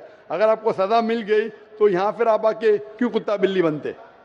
अगर आप देखेंगे आज दुनिया में क्राइम बढ़ रहा है क्या घट रहा है? बढ़ रहा है। बढ़ रहा है। आप मानते ना? मैं भी हाँ। मानता हूँ। ये जो फिलोसफी संस्कारा की अगर बुरे काम करेगा इंसान तो अगले इसमें वो बनेगा लेस अच्छे काम करेगा तो बनेगा इंसान। क्राइम जब बढ़ रही है इंसान की तादाद बढ़ रही है क्या घट रही है? मेरे समझ से तो घटनी चाहिए। लेकिन नहीं घट रही है। उसका मतलब लॉजिक गलत है ना आपकी? जी हाँ। बराबर तो ये लॉजिक है ना आप मान गए तो कबूल करो अभी। जो पुनर्जन्म है वेद में सिखिज्म में इस्लाम में यकसा है। क्या? अगले बार जिएँगे एक बार मरेंगे अगली बार आपका हिसाब किताब होगा डे ऑफ़ जजमेंट और फिर आप हिसाब किताब के हिसाब से जैसे आपने अमाल किए जैसे आपने कर्म किए इस दुनिया में उस तरीके से आप स्वर्ग या नरक में जाएंगे hope the answer the question अब हम चलते हैं माइक नंबर तीन पर वहां पर अगर कोई गैर मुस्लिम भाई मौजूद हैं तो अपना सवाल कर सकते हैं माइक नंबर तीन से আমি গৌতম কুমার সিংহ বলছি বসরা থেকে এসেছি উত্তর দিনাজপুর জেলা করণদিঘি থানা থেকে আমার প্রশ্ন হচ্ছে মুসলমান হলে কি গোমাংস খেতেই হবে মানে ব্যাপারটা হচ্ছে এই প্রশ্নটার উত্তর আমি আগে পেয়ে গেছি দ্বিতীয় প্রশ্ন হচ্ছে মুসলমান হলে কি খাতনা করতেই হবে যদি না খাতনা করি এবং গোমাংস খাই তাহলে কি মুসলমান হতে পারবো না उनका सवाल था कि अगर कोई मुसलमान हुआ तो उसके लिए क्या गाय का गोश्त खाना ज़रूरी है एक सवाल और दूसरा सवाल उनका था कि मुसलमान होने के बाद क्या उसको खतना करना ज़रूरी है ये दो सवाल मैं बंगाली नहीं जानता हूँ लेकिन सवाल समझ गया समझ गया गायकवाड़ समझ गया। मेरे बंगाली टीवी के ऊपर डबिंग आती लोग समझते बंगाली जानता हूँ मैं। लेकिन ये सवाल समझ गया मैं अलहमदिल्ला भाई साहब का सवाल है कि मुसलमान बनने के लिए क्या गाय का गोश्त खाना ज़रूरी है और ख़तना करना ज़रूरी है क्या? ये पहला सवाल मैं जवाब दे चुका हूँ कि गाय का गोश्त खाना फ़र्ज़ नहीं है। अगर आपको पसंद है तो खा सकते हैं नहीं पसंद तो नहीं खाइए फ़र्ज़ नहीं है। आप एक सौ फ़ीसद अच्छे मुसलमान बन सकते शाकाहारी होने के बाद भी, फ़र्ज़ नहीं है। जहाँ तक कि दूसरा सवाल है कि खतना करना ज़रूरी है। खतना करना एक अहम सुन्नत है, सुन्नत मौक़दा है, अच्छी बात है। लेकिन अगर कोई ये कहता है कि अगर मैं खतना नहीं करूँ तो मुसलमान बन सकता हूँ? हाँ बन सकते खतना करना अच्छी बात है, उससे कई फ़ायदे हैं। मैं मेडिकल डॉक्टर हूँ, उससे कैंसर ऑफ़ पीनस नहीं हो सकता है, उसमें फाइमोसिस नहीं हो सकता है। कई अच्छी चीज़ें हो सकती है कई फ़ायदे हैं लेकिन फिर भी अगर कोई इंसान डरता है और कहता है कि मैं खतने की वजह से अगर इस्लाम नहीं कबूल करना चाहता हूँ क्या मैं इस्लाम कबूल कर सकता हूँ? कर सकते। आप विदाउट खतना करके भी इस्लाम कबूल कर सकते कम अज़ कम इंशाल्लाह शरीक से बचेंगे। भाई साहब। क्या सर? आप क्या इस्लाम कबूल करना चाहते? हैं सर हम सोचेंगे सर। सोचेंगे? है सर। सोचिए और जब यकीन आ जाएगा खुदा एक के उसके अलावा कोई माबूद नहीं और जब यकीन आ जाएँगे मोहम्मद सल्लल्लाहु अलैहि वसल्लम आखिरी पैगंबर है तो इंशाल्लाह आप उस इरादे को अमल में ला सकते हैं इंशाल्लाह अगला सवाल माइक नंबर तीन से। वहाँ पर कोई अगर गैर मुस्लिम भाई हैं तो अपना सवाल कर सकते हैं। माइक नंबर तीन से। मेरा नाम नित्यानंद यादव है। जिस बीबी को एक दो तीन चार बच्चे हो और उसकी एक दो तीन गलती पर पति के ओर से तलाक दे दी जाए, फिर उसकी शादी ना हो और वह जिस्म बेचने वाली औरत हो जाती है, ऐसी स्थिति आ सकती है। तो मुस्लिम कमेटी में तलाक क्यों? जबकि हिंदू धर्म में तलाक का प्रथा नहीं है। मेरा गुजारिश है डॉक्टर जाकिर से कि आपके जवाब पर सवाल पैदा हो सकती है। अगर मुझे आप संतुष्ट पूर्वक जवाब दे देंगे तो मैं इसी वक्त मुस्लिम धर्म कबूल कर लूँगा, क्योंकि मैंने विभिन्न जलसों में गया और देखा कि हिंदू धर्म गलत है, मूर्ति पूजा गलत है तो आज मुसलमान भाइयों दस हज़ार बीस हज़ार की कुर्बानी करते हैं लेकिन पाँच सौ रुपया का एक बकरा धाकड़ भैंसा खरीद कर सारे आम में नहीं छोड़ सकते हैं। और मूर्ति पूजा गलत है मूर्ति पूजा गलत है। तो मैं आपसे गुजारिश करूँगा बार बार दरखास्त करूँगा इंशाल्लाह कि आप मुझे संतुष्ट कर दीजिए। मैं इसी वक्त धर्म इंशाअल्लाह। कबूल करूँगा। मैं जवाब देने की कोशिश करूँगा हिदायत देना अल्लाह के हाथ में। मैं आपको जवाब दूँगा इंशाल्लाह। भाई साहब का सवाल है कि इस्लाम मज़हब में अगर कोई औरत गलती करती है एक दो तीन चार बच्चे है एक दो तीन गलती करती है मुसलमान उसे तलाक दे देता है फिर वो औरत जाके बाजारी औरत बन जाती है हिंदू धर्म में तलाक है ही नहीं तो इस्लाम धर्म में तलाक क्यों है? बेसिक आपका सवाल है क्या इस्लाम मज़हब में तलाक क्यों है? बराबर? हिंदू मज़हब में नहीं ये आपका बेसिक सवाल। बराबर भाई साहब? क्या इस्लाम मज़हब में तलाक क्यों है? बराबर भाई साहब? जी। क्यों तलाक है? आपके हिसाब से तलाक नहीं होना चाहिए। अक्सर मजाहब में तलाक नहीं है डिवोर्स नहीं है।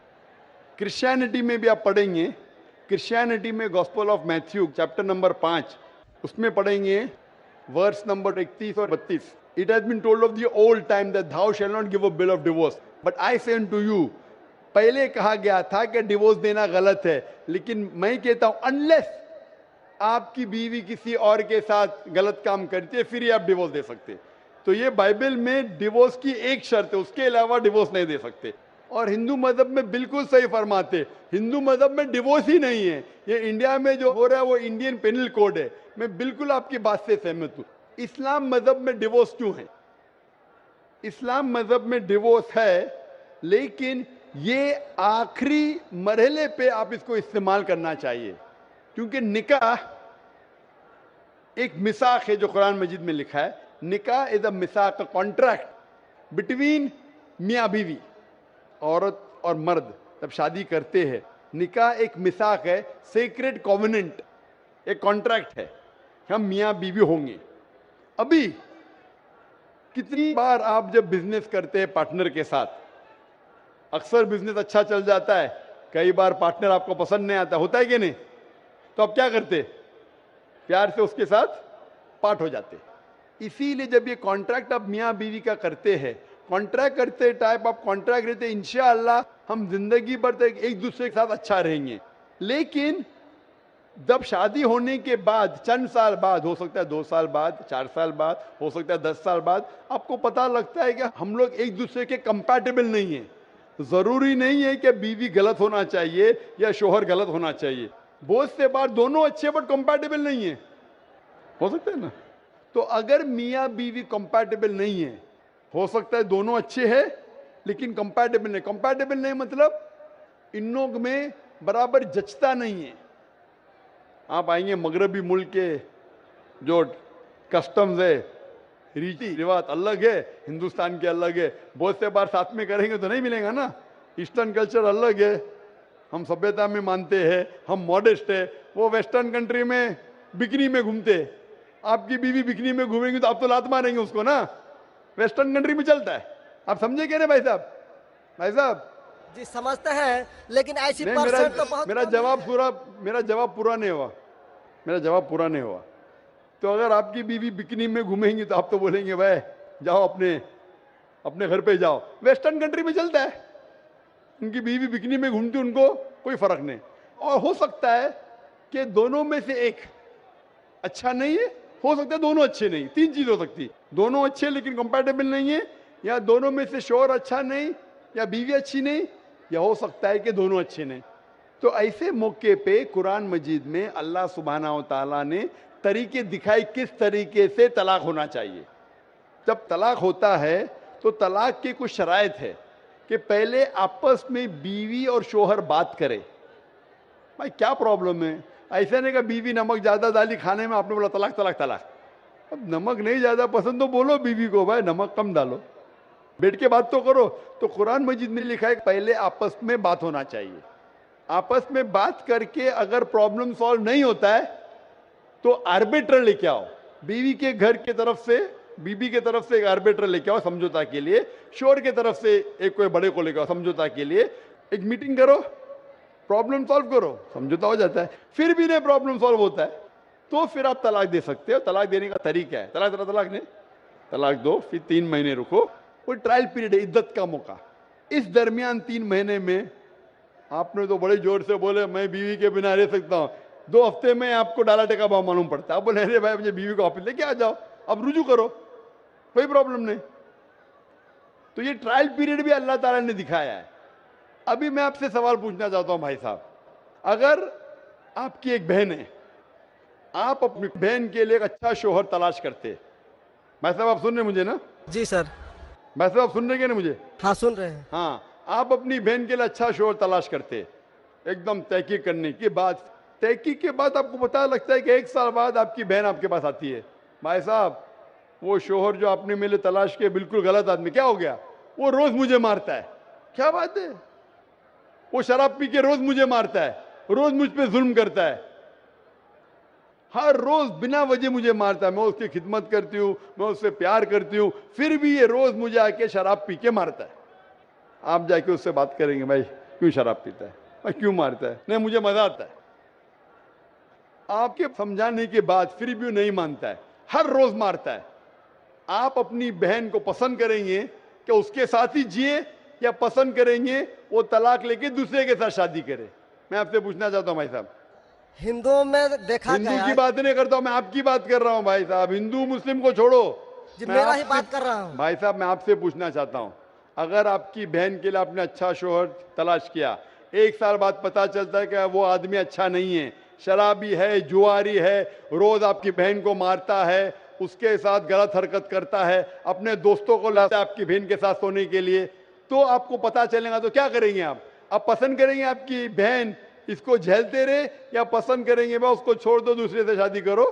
आप क्या पसंद करेंगे? हिंदू को छोड़ो मुस्लिम को छोड़ो आप क्या पसंद करेंगे? मैं तो मैं अगर इस तरह का मेरा बहन हरकत करेगी। बहन हरकत ने आपका बहनों भी हरकत कर रहा है। बहन तो बहुत अच्छी है आपकी। बहन तो बेचारी देवी जैसी है। मैं उनको सबक सिखाता हूँ कि देखो बहन तुमको जो पति मिल है तुम उसी का सेवा करो। यानी चूँकि हम लोगों का धर्म जो है जब विवाह हो जाती है आपकी धर्म की बात नहीं कर रहा हूँ मैं आपकी बात कर रहा हूँ। धर्म पे बाद में आऊँगा मैं। हाँ मैं तो आपसे पूछ रहा हूँ आपके धर्म से नहीं पूछ रहा हूँ। मैं आपसे पूछ रहा हूँ कि आपने अपनी बहन से कहा कि भाई अपने शोहर की आप खिदमत करो। खिदमत करने के बाद भी रोज मारता है। उसकी क्या गलती बेचारे आपकी बहन की? आप बोलेंगे बर्दाश्त करो। आपको कल कोई मानने लगेगा रोज। आप पे जुल्म करने लगेंगे अगर बर्दाश्त करेंगे आपकी। बीवी आपको रोज मारेंगी आके बेलन से। बेलन से रोज मारेंगी। वो अच्छी मार्शल आर्ट्स की है। रोज आपको मारेंगी। आप उसको तनख्वाह लेके देंगे रोज आपको मारेंगे। आप क्या करेंगे? नहीं मैं आपसे पूछता हूँ आपकी बीवी रोज आके आप पाकिस्तान रिपोर्टर में भाई साहब पाकिस्तान को छोड़ो। मैं आपसे भाई साहब भाई साहब। मुस्लिम कमेटी की औरतों से। भाई साहब सुनो मेरी बात ना। पाकिस्तान को छोड़ो हिंदुस्तान को छोड़ो। मैं आपसे सवाल पूछ आपने मुझे सवाल किया मैं आपसे सवाल पूछता हूँ। पाकिस्तान में क्या हो रहा है छोड़ो मुझे भी आपकी फ़िक्र है। जी। आपको अगर आपकी बीवी रोज मारती है हाँ? जी। रोज आपको मारती है रोज जाके बाहर ऐश करती है आप क्या करेंगे? मैं उनको समझाऊँगा। नहीं समझती है और वो बहुत अट्टी कट्टी है। समझाएँगे तुमको दो समझाएँगे क्या करेंगे? अगर नहीं समझती है तो मैं एक किला बनाऊँगा और उस किले में मोटे रस्सी से बाँध करके उसको रखूँगा वो तुमको और बांधेंगी वो खिलाऊँगा। कट्टी है तुम क्या बांधेंगे हाँ, उनको? नहीं अरे वो तो मैं बांधेंगी किले के अंदर। तलाक का तो भाई साहब बात नहीं करेंगे। भाई साहब अब दिखने में कैसे मुझे नज़र आ रहा है टेलीविज़न पे? मैं। बोला आपकी बीवी अगर एकदम अट्टी कट्टी है आप क्या उसको किले से बाँध देंगे? वो एक झापड़ आपको मारेंगी आप गिर जाएँगी फिर आप क्या करेंगे? बोलो। हम लोगों का जो औरत है रोज मंदिर जाती है और प्रार्थना करती है अरे भाई हे ईश्वर, बीवी मिली। हे ईश्वर हमारे पति के लिए लंबी उम्र चाहिए।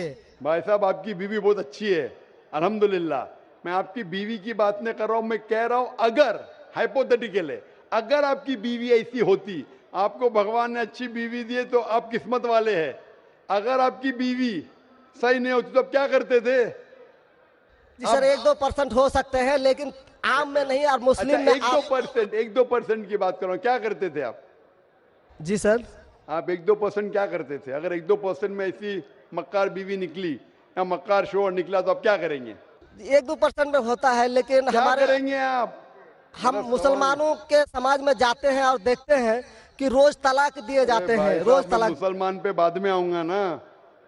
मैं पहले आपसे पूछ रहा हूँ अगर आपकी बीवी आपसे ऐसी हरकत करने लगी या आपका बहनों भी आपके बहन को रोज मारता है तो आप क्या करेंगे? एक परसेंट होगा दो परसेंट बोलते मैं एक परसेंट बोलता हूँ। आप क्या करेंगे? मैं तो कदापि तैयार नहीं होऊँगा। नहीं होगा छोड़ देंगे ना? मैं छोड़ूँगा नहीं उसको। क्या करेंगे? मैं किले में बंद करके रखूँगा। अरे आप नहीं बंद कर सकते ना वो आपसे ताकतवर है भाई साहब। नहीं नहीं। अरे है एकदम आपकी बीवी है भाई साहब अच्छी है। जी नहीं। मैं खाली हाइपोथेटिकली बोल रहा हूँ अगर ऐसी बीवी होती थी तो क्या करते थे? नहीं ऐसा तो हो नहीं सकता है। हाँ, हुआ नहीं आप किस्मत वाले भाई साहब। नहीं तमाम मुसलमानों का हम सोच रखने वाले हैं सोचते हैं। आता हूँ भाई साहब मैं सब जवाब दूँगा आपको। मैं आपसे सवाल पूछता हूँ, आपके साथ ऐसी हरकत हुई। आपकी बहन को अगर कोई रोज मारता है आपका बहनों भी रोज परेशान करता है लाल पीला करता है शराब पीता है जुआरी है तो आप क्या बोलेंगे बहन को? मैं तो कदापि तैयार नहीं होगा ये बात मैं नहीं नहीं क्या बोलेंगे आप अपने बहन को? बहन को बोलेंगे कि नहीं छोड़ दो। नहीं तुम जाओ उसके कदमों में जाके पड़े रहो। वो कदमों में ही मारता है उसको। कदमों में ही तुम मर जाओ। कदमों में ही मर जाओ। तो क्या ये इंसानियत है? नहीं। ऐसे धर्म को मानते हैं आप? जी। ऐसे धर्म को मानते हैं कि जो शोहर अगर पति के द्वारा मारे जाते हैं तो जन्नत का हकदार हो सकते हैं। ये किधर लिखा है? आप ऐसी किताब में मानते हैं अगर ऐसी किताब में लिखा तो हर शोर अपने बीवी को मारने लगेगा ना। हर शोर मारने लगेगा बोलेगा चलो यार वो जन्नत में जाएँगी मारो। नहीं तो हम तो बता रहा हूँ सर कि एक दो भाई हो सकते हैं। आप जो बोल रहे इसीलिए जितनी नाइंसाफी औरतों पे हो रही हिंदुस्तान में उसकी वजह ये है। उसकी वजह ये है कि हिंदू औरतों पे जब नाइंसाफी होती है वो चुपचाप सहन करती है। क्यों? उसको आवाज़ उठाना चाहिए। मुसलमान औरतें आवाज़ उठाती है। तो आपको दिखने में आता है। जो आप बोलते हैं तलाक कितने लोग का तलाक? यहाँ पूछेंगे मज़हब में लाखों लोग हैं। कितने लोग का तलाक हो तो एक फ़ीसद भी नहीं मिलेगा आपको। भाई साहब यहाँ पर अगर सर्वे लेंगे कितने लोग का तलाक हो एक फ़ीसद भी नहीं मिलेगा। अभी तो भाई साहब हिंदू राष्ट्र है जो कोर्ट में दायर कर दिए जाते हैं इसलिए तलाक। अगर तलाक की फ़ीसद देखी जाएँगी तो मैक्सिमम मैक्सिमम दो या तीन फ़ीसद होगा। लेकिन ये दो या तीन फ़ीसद पे जो जुल्म होता है, हो सकता है पाँच फ़ीसद पे जुल्म हो रहा है, तीन फ़ीसद औरत आवाज़ उठा रही है। हिंदू के अंदर कितना जुल्म हो रहा है, वो सहन कर रही है, क्योंकि लोग बोलते हैं क्या वो जाएँगी जन्नत में। क्या सही है ये? ऐसा धर्म हो सकता है कि जुल्म करे, अने तुम्हारा शोहर, तुम्हारा ईश्वर। वो शराबी भी है, जुआरी भी है, तुमको मारता भी है तुम्हारे साथ दोस्तों से बलात्कार कराता है, फिर भी ईश्वर। कैसा ईश्वर? ईश्वर एक है। तुम्हारा शोहर नहीं। शोहर ईश्वर नहीं है, भाई साहब। ईश्वर एक है। ऊपर वाला ईश्वर है। शोहर कभी ईश्वर होता नहीं। हाँ शोहर की इज़्ज़त करना चाहिए, लेकिन इज़्ज़त करने की हद होती है। अगर हद से बाहर हो जाता है तो इस्लाम में इजाज़त है कि वो अलग हो सकते हैं। शोहर भी अलग हो सकता है, औरत भी अलग हो सकते हैं। तरीके है, तलाक है, खुला है, निकाय फस्क है। तो इसके अंदर इस्लाम में कहा गया है कि शोहर की इज़्ज़त करो। ये भी कहा गया है शोहर को कि बीवियों से अच्छा बर्ताव करो। अल्लाह के रसूल फरमाते हैं कि सबसे अच्छे मुस्लिम वो जो अपने खानदान के लोगों से अच्छे हैं, खुसूसन अपनी बीवियों के साथ। तो कुरान में लिखा है और हदीस में भी लिखा है कि आप अपनी बीवियों की देखभाल करना चाहिए। और बीवियों से कहा गया कि आप अपने शोर की देखभाल करना चाहिए। कुरान में लिखा है, सूरह बकरा में, सूरह नंबर दो, आयत नंबर 187 में, हुन्ना लिबासुल्लकुम वन तुम लिबासुल्लाहुन्ना कि आपकी बीवियाँ शोहर का लिबास है और शोहर बीवियों के लिबास है। लिबास मतलब एक दूसरे को लोग सहारा देते, एक दूसरे को प्रोटेक्ट करते, एक दूसरे को ब्यूटिफाई करते हैं। ये इस्लाम है। इट्स अ कॉन्ट्रैक्ट उसका मतलब नहीं कि आपने शादी कर दी तो जुल्म भी करो। इसीलिए सबसे ज़्यादा अगर औरतों पे जुल्म हो रहा है, वो हिंदुस्तान में हो रहा है। गाँव गाँव में जुल्म हो रहा है, लेकिन आवाज़ नहीं उठ क्योंकि आप जैसे भाई अगर होंगे औरत के पास तो औरत कैसे नजात पाएँगी? आप जैसे भाई ये जो बोलेंगे कि कदम में पड़ो, मर जाओ, जन्नत में जाएँगे तो कौन बहन दुआ करेंगी कि ऐसा भाई उसके पास हो? कौन बहन दुआ करेंगी? बोलेंगे, मेरे पे जुल्म हो रहा है, मेरी जहन्नम बन रही है, और मेरा भाई बोलता है, जन्नत जाएँगे। कैसा ये? कैसा इंसाफ है? इसलिए लोग दुआ करेंगे, ऐसे भाई से मुझे निजात दो। ये भाई से छुटकारा दो। और इस्लाम में जुल्म करना हराम है, जुल्म बर्दाश्त करना हराम है। आप अगर जालिम का साथ देंगे तो आप भी दोषी है। वो जन्नत में तो जाएँगी, तुम जाएँगे नर्क में। समझे भाई साहब? भाई साहब, इस्लाम में भाई का धर्म है कि अपनी बहन की रक्षा करे। अगर बहन पे जुल्म हो रहा, भाई बोलेगा, जाओ जाओ। तो बहन तो हो सकता है स्वर्ग में जाए। बेचारी बर्दाश्त करिए। तुम नर्क में जाएँगे। तुमको कौन बचाएगा? क्या भाई साहब? आप नर्क में जाना चाहते हैं स्वर्ग में? भाई साहब। सर मानता हूँ आपका बात। आप स्वर्ग में जाना चाहते हैं नर्क में? स्वर्ग में ही तो जाना चाहेंगे। तो आप अपने बहन को नर्क बना रहे ज़िंदगी को और आप जाना चाहते हैं स्वर्ग में? हाँ?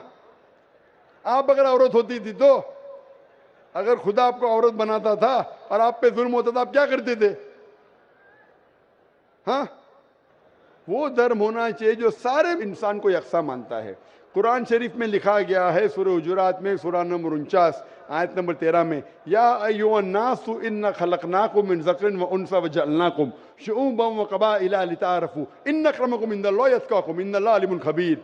ए इंसानों, हमने तुम्हें एक जोड़े से बनाया मर्द और औरत के और आपको तकसीम किया है कबाइल में।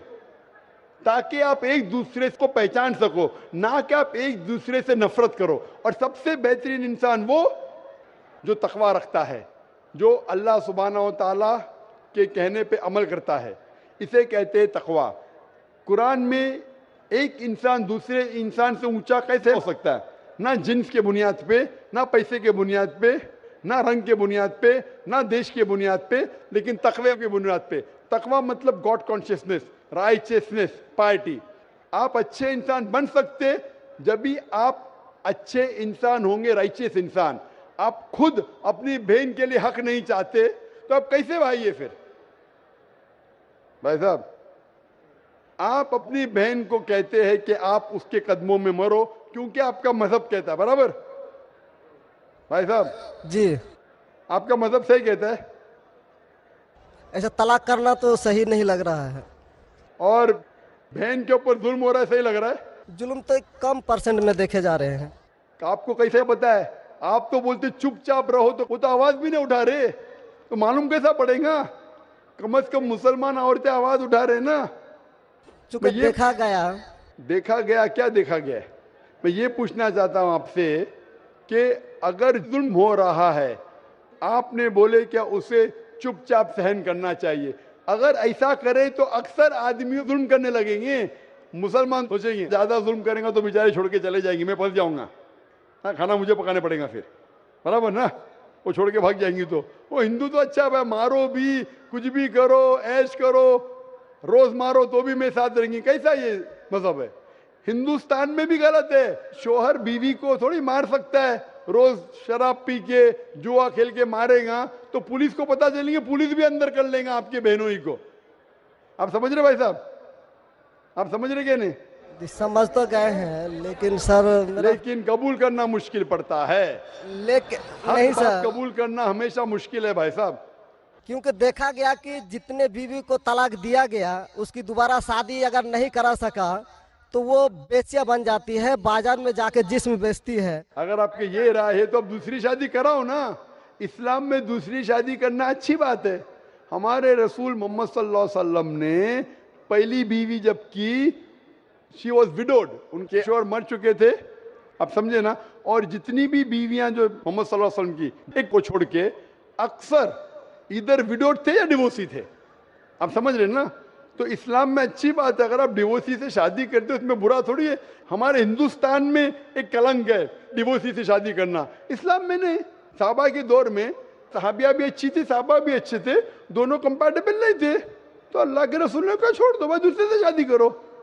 दोनों अच्छे थे, लेकिन आपस में उनका मेल नहीं होता था तो जुड़ा होता, आप दूसरे से शादी करो, आप दूसरे से करो। इतना आसान मतलब ज़रूरी है कि ज़बरदस्ती अगर स्क्वायर को आप राउंड में डालेंगे फिट नहीं हो रहा तो आप दबा के करेंगे fit don't try to put a square in a round hole square peg in a round hole if you try to put अगर स्क्वायर को राउंड में डालेंगे फिट नहीं होगा अगर फिट नहीं हो रहा है तो आप पाठ करो अच्छे तरीके से, प्यार से, मोहब्बत के साथ। उनको खाली पीजी कोर्ट के अंदर जाके एक दूसरे के ऊपर कीचड़ मत उछालो।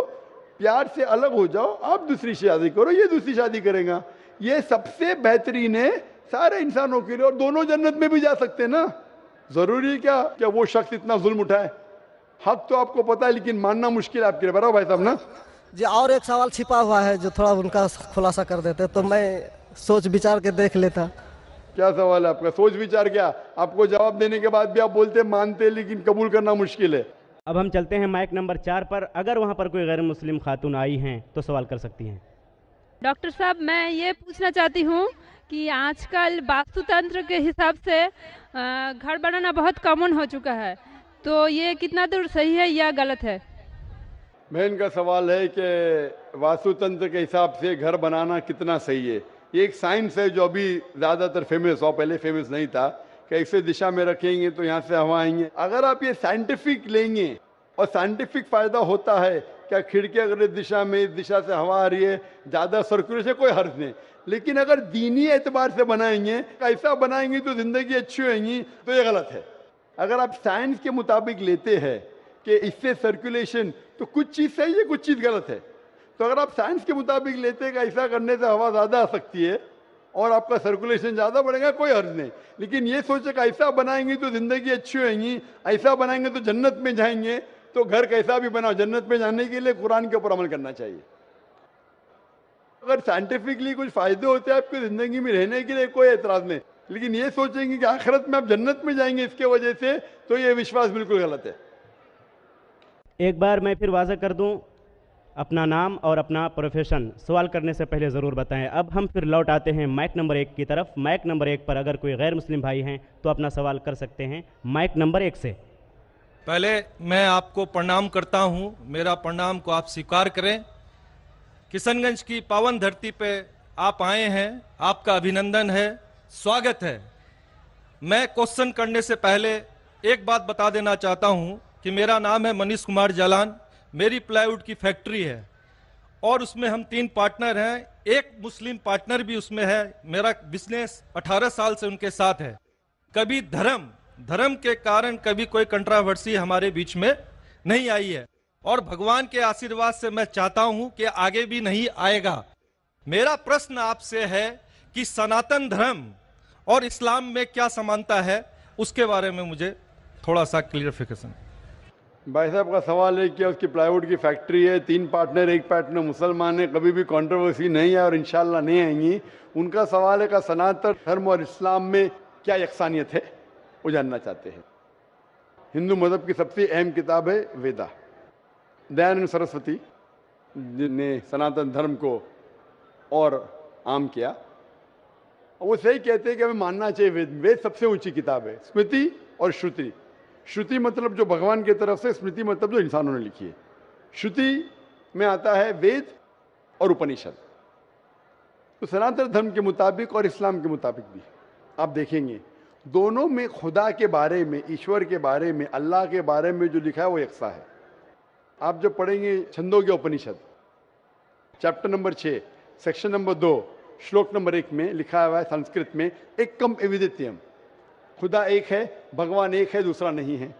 लिखा है स्वतः सतर उपनिषद में, चैप्टर नंबर छः श्लोक नंबर नौ में, नाचस से कसिज, जनिता न चदीपा, कि उस ईश्वर का कोई रब नहीं, उस ईश्वर के कोई वालदेन नहीं, उससे ऊँचा कोई नहीं उसका कोई वालदेन है, कोई वालदा है।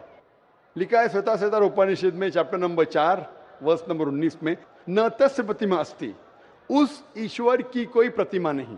प्रतिमा संस्कृत लफ्ज है जिसके मानी अक्स, picture, painting, photograph, idol, statue, sculpture. तो लिखा है, उस ईश्वर, उस भगवान की कोई प्रतिमा नहीं, कोई अक्स नहीं, कोई पिक्चर नहीं, कोई पेंटिंग नहीं, कोई पोर्ट्रेट नहीं, कोई आइडल नहीं, कोई स्कल्पचर नहीं, कोई स्टैच्यू नहीं। आगे जब आप पढ़ते हैं, ये सारी चीज़ें कुरान में भी लिखी, मैं उसके ऊपर आऊँगा। ये है ईश्वर के बारे में जो लिखा गया है। उसी तरीके से आप आगे जब पढ़ेंगे यजुर्वेद, चैप्टर नंबर चालीस वर्ष नंबर आठ और नौ में उसमें लिखा है, अंधात्म प्रविशंति या असमुद्ध उपासते अंधात्म मीन अंधकार, प्रविशंति मतलब दाखिल होना, अंधात्म प्रविशंति या असंभूति उपासते वो अंधकार में दाखिल हो रहे हैं, जो लोग असंभूति की पूजा करते। असंभूति मतलब नेचुरल थिंग्स लाइक हवा, पानी, आग। जो नेचुरल थिंग की पूजा करते हैं, जैसे हवा, पानी, आग, वो अंधकार में दाखिल हो रहे। और वो श्लोक का कंटिन्यू होता रखा है, वो लोग और घोर अंधकार में दाखिल हो रहे जो संभूति की पूजा करते। संभूति मतलब इंसान की बनाई हुई चीज़ें, टेबल, चेयर, आइडल, मूर्ति, इसकी पूजा करेंगे तो और घोर अंधकार में दाखिल होंगे। और लिखा है ऋग्वेद में, जिल्द नंबर एक, हिम नंबर 164 वर्स नंबर 46 एक कम सत्य विप्र बहुधा विदांते सत्य एक है, खुदा एक है एक कम सत्य विप्र बहुधा विदांते। लोग, विद्वान लोग उस ईश्वर को कई अलग नाम से पुकारते हैं। ईश्वर को कई अलग नाम से पुकारते यही चीज़ लिखा है कुरान में जो मैंने ज़िक्र किया हूँ। सुर इसरा में सुरा नंबर सत्रह, आयत नंबर 110 कुलिदुल्ला विदुरहमान अयमतदु फलाउस्मान चाहे कहो अल्लाह या रहमान, उसे अच्छे नाम से पुकारो, क्योंकि अल्लाह के सारे अच्छे नाम हैं। लेकिन ऐसी कई मिसाल दी गई, ऋग्वेदा पढ़ेंगे। ऋग्वेद जिल्द नंबर दो, चैप्टर नंबर एक, श्लोक नंबर तीन में पढ़ेंगे। उसमें एक एट्रीब्यूट दिया गया है ब्रह्मा। ब्रह्मा कहते हैं बनाने वाले खुदा को। ब्रह्मा कहते बनाने वाले खुदा को। हमें कोई एतराज़ नहीं, अगर कोई कहता है कि ईश्वर बनाने वाला है, उसका तर्जुमा करते, अरबी में हो जाता है खालिक, हमें कोई एतराज़ नहीं। लेकिन अगर कोई कहता है कि ईश्वर वो ब्रह्मा है जिसके चार सिर है, हर सिर पे मुखट है तो हम मुसलमान उस पर एतराज़ करते हैं। क्योंकि आप भगवान को अक्स दे रहे और आप यजुर्वेद, चैप्टर नंबर बत्तीस, श्लोका नंबर तीन के खिलाफ जा रहे ना तस्य प्रतिमा अस्ति, उस ईश्वर की कोई प्रतिमा नहीं। आपने प्रतिमा दिया तो गलत किया। इसी तरीके से आगे आप पढ़ेंगे, लिखा हुआ है ऋग्वेद में, किताब नंबर छः हिम नंबर फोर्टी सिक्स, श्लोक नंबर सोलह में या एक मुश्ती ही। भगवान एक ही है सिर्फ़ उसकी तारीफ़ करो। और ब्रह्म सूत्र हिंदुइज्म का है, एक कम ब्राह्म देवत्या नास्ते नैना नास्ती किंचन। भगवान एक ही है दूसरा नहीं है। नहीं है नहीं है जरा भी नहीं है। सिर्फ़ एक खुदा है उसके अलावा कोई नहीं है। अगर कोई मुसलमान से पूछेंगे कि सबसे बेहतरीन क्या डेफिनेशन है खुदा की अल्लाह की वो जवाब आपको देगा सूर्य इखलास सूरा नंबर 112 आयत नंबर एक से चार जिसमें लिखा है कुल हो अल्लाह अहद। कहो कि अल्लाह एक है, अल्लाह समद अल्लाह जो बेनियाज है, लम मिलत वलम ना वो किसी को जना है, ना किसी से जना है। वलम ये कुल कुफ़ानाद उसके जैसा कोई नहीं है।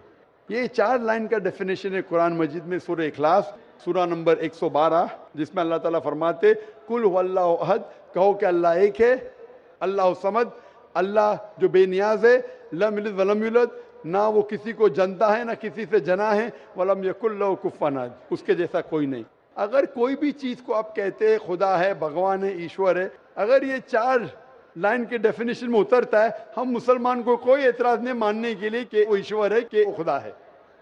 तो ये सनातन धर्म के खुदा एक है। उसका कोई अक्स ने हु मिलता है कुरान मजिद से।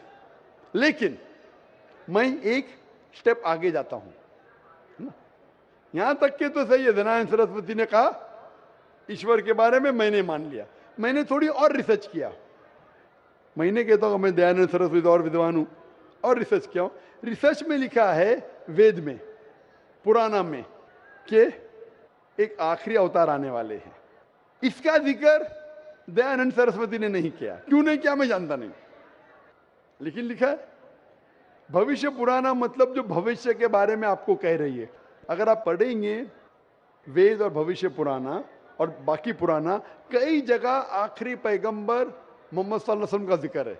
मैं पूरा तफसीर से हवाले दूँगा तो आसान होगा। आप पढ़ेंगे भविष्य पुराना, पर्व तीन, खंड तीन, अध्याय तीन, श्लोका पाँच से आठ तक, इसमें मोहम्मद वसल्लम का ज़िक्र है। आगे पढ़ेंगे भविष्य पुराना, पर्व तीन, खंड तीन, अध्याय तीन, श्लोका दस से सत्ताईस में मोहम्मद सल्लम का ज़िक्र है। अगर आप पढ़ेंगे अथर्वावेद, किताब नंबर बीस खंड नंबर 127 श्लोका नंबर एक से चौदह में मोहम्मद वसल्लम का ज़िक्र है। इसे कहते कुंटब सुक्तास। अगर आप पढ़ेंगे ऋग्वेद, किताब नंबर एक, चैप्टर नंबर 53 श्लोका नंबर नौ में मोहम्मद वसल्लम का ज़िक्र है। कई जगह पे उनका नाम से ज़िक्र है और बड़ी तफसील से ज़िक्र है कल की पुराना में। कल की पुराना चैप्टर नंबर पाँच, सात, नौ, पंद्रह। यहाँ पढ़ेंगे, इसमें लिखा है कि कल युग में कल युग मतलब आखिरी युग। में आएँगे आखिरी अवतार। अवतार जैसा मैंने कहा, का मतलब नहीं का भगवान नीचे आना। अवतार एक संस्कृत वर्ड है, जिसका मानी अवतर अवतर मतलब खुदा ने भेजा, खुद खुदा नहीं आ रहा है। It belongs to God not God himself इसीलिए इसका कॉन्सेप्ट है मैसेंजर पैगंबर। तो कल युग में कल के अवतार आएगा, उसके बाप का नाम है विष्णु यास। विष्णु मतलब ईश्वर खुदा, यास मतलब खुदा का बंदा। अरबी में कहीं हो जाता अब्दुल्ला। जो मोहम्मद वसल्लम के वालिद का नाम था। उसकी माँ का नाम होगा सुमति। सुमति मतलब अमन, शांति।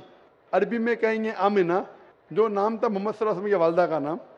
वो पैदा होंगे एक अमन के शहर में, जो था मक्का। वो पैदा होंगे ऐसे खानदान में, जो उस शहर का रखवाला था और मोहम्मद वसल्लम कुरैश खानदान में पैदा हुए। पहली वही उन्हें आएँगे एक गार में, एक केफ के अंदर। मोहम्मद वसल्लम को सबसे पहली वही आए गार हीरा में। रात के वक्त हम जानते हैं फिर वो माइग्रेट करेंगे नॉर्थ वर्ड और वापस आएँगे। मोहम्मद सल्लल्लाहु अलैहि वसल्लम ने इज़्ज़त की, मदीना फिर वापस आया। उनके चार करीब दोस्त होंगे, सबसे पहले चार खुलफा राशिदीन। ऐसे कई तफसील है। तो खुदा के ज़िक्र के बाद जो वेद में यकसानियत है, जो कुरान से मिलती है, वो है मोहम्मद सल्लल्लाहु अलैहि वसल्लम का ज़िक्र। और भी यकसानियत है। ये तो सिर्फ़ खुदा के बारे में और मोहम्मद वसल्लम के बारे में। और यकसानियत है शराब मत पियो, जैसा मैंने कहा। कुरान में लिखे सूर्य माहिदा सूरा पाँच, आयत नंबर नब्बे, शराब मत पियो। मनुस्मृति, चैप्टर नंबर नौ, श्लोक नंबर दो सौ पच्चीस में लिखा है। कुरान में लिखा है जो मत खेलो सूर्य माहिदा सूर्य पाँच, आयत नंबर नब्बे, मनुस्मृति, चैप्टर नंबर नौ, श्लोक नंबर दो सौ पच्चीस में जो मत खेलो। हिजाब पहनना चाहिए कुरान में लिखा है सूर्य नूर सूर्य नंबर ट्वेंटी फोर, चौबीस, आयत नंबर तीस और इकतीस, ऋग्वेद में लिखा है, जिल्द नंबर आठ में, इस तरीके से कई यक्षान है सबसे अहम दो यक्षानियत है पुनर्जन्म, वेद में कुरान में। सबसे अहम यक्षानियत खुदा है कि उसका अक्स नहीं है और मोहम्मद सल्लल्लाहु अलैहि वसल्लम आखिरी पैगंबर है। आप मानते हैं भाई साहब के खुदा एक है मुझे जानकारी नहीं है। आप मानते खुदा एक है कि नहीं मानते? मुझे जानकारी नहीं है और अपने धर्म को जो जानता हूँ उस हिसाब से हमें हम तो सभी देवी देवताओं को मानते हैं और हमें मानना भी चाहिए। ये हम जानते हैं। आपके धर्म में सबसे ऊँची किताब कौन सी है? हम तो गीता को मानते हैं। गीता क्या है? वेद का निचोड़ है। सबसे ऊँची किताब हिंदू धर्म में है वेद। वेद। जो है श्रुति। वेद उपनिषद। फिर आएँगे आपके महाभारत। भगवत गीता अठारह चैप्टर है महाभारत के। अठारह चैप्टर। महाभारत का एक हिस्सा है श्री कृष्ण अर्जुन को सलाह देते हैं क्या करना चाहिए। वो उसे कहते हैं भगवत गीता। आप समझे ना? कहते ये निचोड़ वेद का लेकिन वेद तो पहले समझो आप? बराबर ना? तो वेद में जब लिखा है इतना खास तौर के भगवान एक है तो आप क्यों इतने देवी देवता में मानते? नहीं ये तो आपको तहकीक करना पड़ेगा ना? तो मैं जो कह रहा हूँ उसे लिखिए या ऑलरेडी अवेलेबल है किताब में। किताब जाइए पढ़िए वेद पढ़िए। ये जाकिर मुंबई से आया बेगम बाकी तो नहीं कर रहा है। हवाला दे रहा है इधर से उधर मैं भी फेंक रहा है। नहीं नहीं। हो सकता है ना फेंक रहा हूँ? नहीं आप जितनी बात को बोल रहे हैं पिस टीवी में भी देखता हूँ। देखते माशाल्लाह। हाँ तो अब आप वेद के बारे में बोले हैं और बताए हैं। आपका चैप्टर नंबर और पन्ना नंबर तो मेरे दिमाग में आया नहीं कि ठीक है बोल रहे हैं तो कुछ तो कुछ होगा कुछ उसमें। ना कुछ तो होगा। तो कुछ तो कुछ होगा। कुछ ना कुछ होके छोड़िए मत तहकीक कीजिए। नहीं क्या अब गलत या सही? अब करेंगे। अब करेंगे। कितने दिन में कंप्लीट करेंगे एक हफ़्ते में? कर लूँगा कोई बड़ी बात थोड़ी एक हफ़्ते में मैं आपके पार्टनर से पूछूँगा। आपने बोला अब तक कंट्रोवर्सी नहीं हुई। मेरा कंट्रोवर्सी होना ज़रूरी नहीं है। आप उसको अच्छाई की तरफ़ लेके आओ वो आपको अच्छाई की तरफ़ लेके आएगा। कंट्रोवर्सी नहीं करना। अगर आदमी बोला दो जमा दो पाँच। अरे जान दे यार मेरा पार्टनर मुझे ज़्यादा पैसा दे रहा है पाँच रुपया दे रहा है दो जमा दो पाँच। तो गलत है ये। गलत है तो बोलना चाहिए। कंट्रोवर्सी नहीं होना अच्छी बात नहीं। कंट्रोवर्सी होके सच्ची राह पे लेके आना अच्छी बात है। आप समझ रहे नहीं? तो आपके पार्टनर से कहो इतने अठारह साल से आपके पार्टनरशिप किए अभी आप एक हफ़्ते में तहकीक करेंगे जाकिर क्या बोलता है? और पार्टनर से डिस्कस करो। बराबर ना? आप ठीक बोल रहे हैं मेरे पार्टनर का नाम भी मैं बताना चाहूँगा। हाँ। सैयद सैयद मजरुल हसन साहब नाम है उनका। सैयद मजरूल हसन साहब। तो लाखों लोग सुन लिए ना? हाँ। तो सैयद मजरूल हसन साहब को और। हमारे से पंद्रह साल बड़े भी हैं। मेरे से मेरे से पंद्रह साल बड़े भी हैं। हाँ। हमारी डिस्कस होती है सब चैप्टर पर डिस्कस होती है। परंतु मैंने क्या कहा कि हमारे बीच में किसी तरह का कोई भी कंट्रावर्सी नहीं होता है। और आपने वेद के बारे में बताया ज़रूर मैं वेद को भी पढ़ूँगा। कंट्रोवर्सी नहीं है। कंट्रोवर्सी नहीं यकसानियत है। आज कुछ आपसे लेके जा रहा हूँ मैं देखे नहीं जा रहा हूँ मैं आपसे लेके जा रहा हूँ। मेरे मन में जिज्ञासा थी मैं आपसे क्वेश्चन किया आपने मेरे क्वेश्चन का जवाब दिया इसके लिए मैं धन्य हूँ। और मैं अपने जो आप वेद के बारे में बोले मैं ज़रूर उसको पढ़ूँगा और सात दिन में ही पढ़ूँगा। इनशाला आप पढ़िए तहकीक कीजिए लेके जा रहे अगर आप कबूल करेंगे तो मुझे देखे भी जाएँगे सवाब इंशाल्लाह। मेरा प्रणाम को फिर स्वीकार करें आप। इसी के साथ मैं अपने शब्दों को विराम देता हूँ। माइक नंबर तीन पर अगर कोई गैर मुस्लिम भाई हैं तो अपना सवाल कर सकते हैं। आदाब डॉक्टर जाकिर साहब। मैं पिंटू मेरा प्रोफेशन स्टूडेंट हूँ मैं। मैं बंगाल इस्लामपुर से बिलोंग करता हूँ।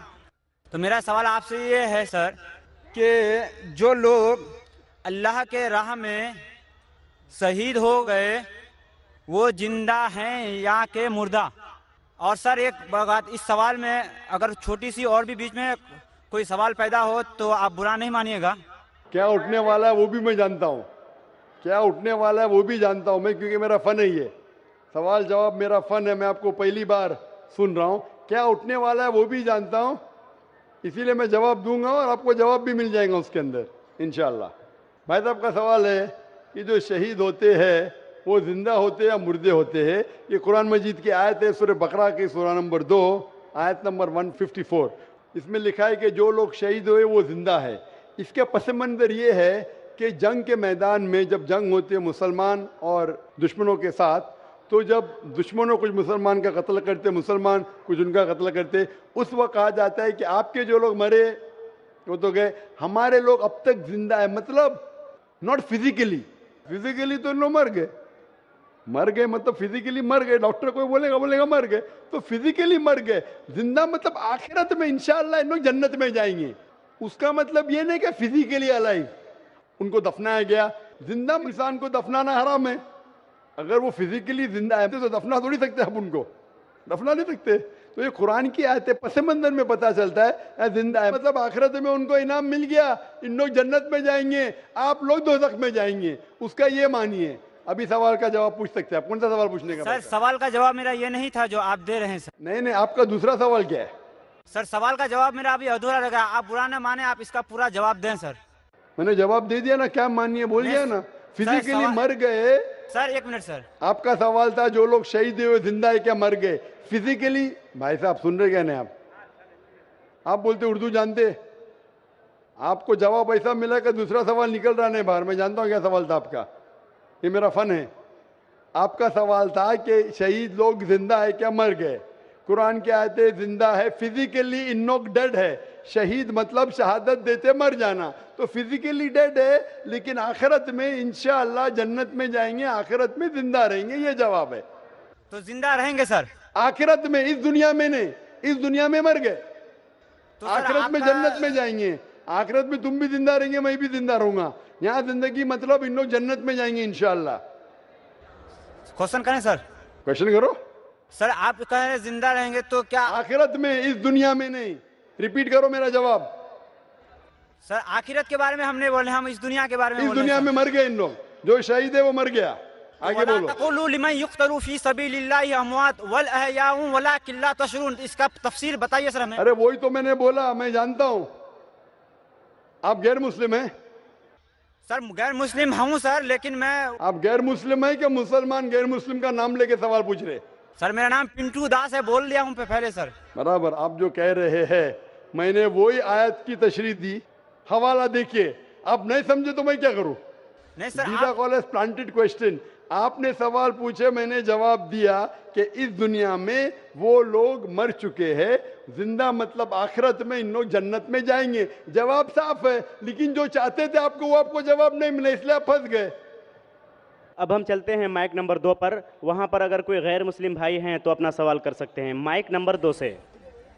मैं श्यामा मंडल प्राइमरी स्कूल का टीचर हूँ।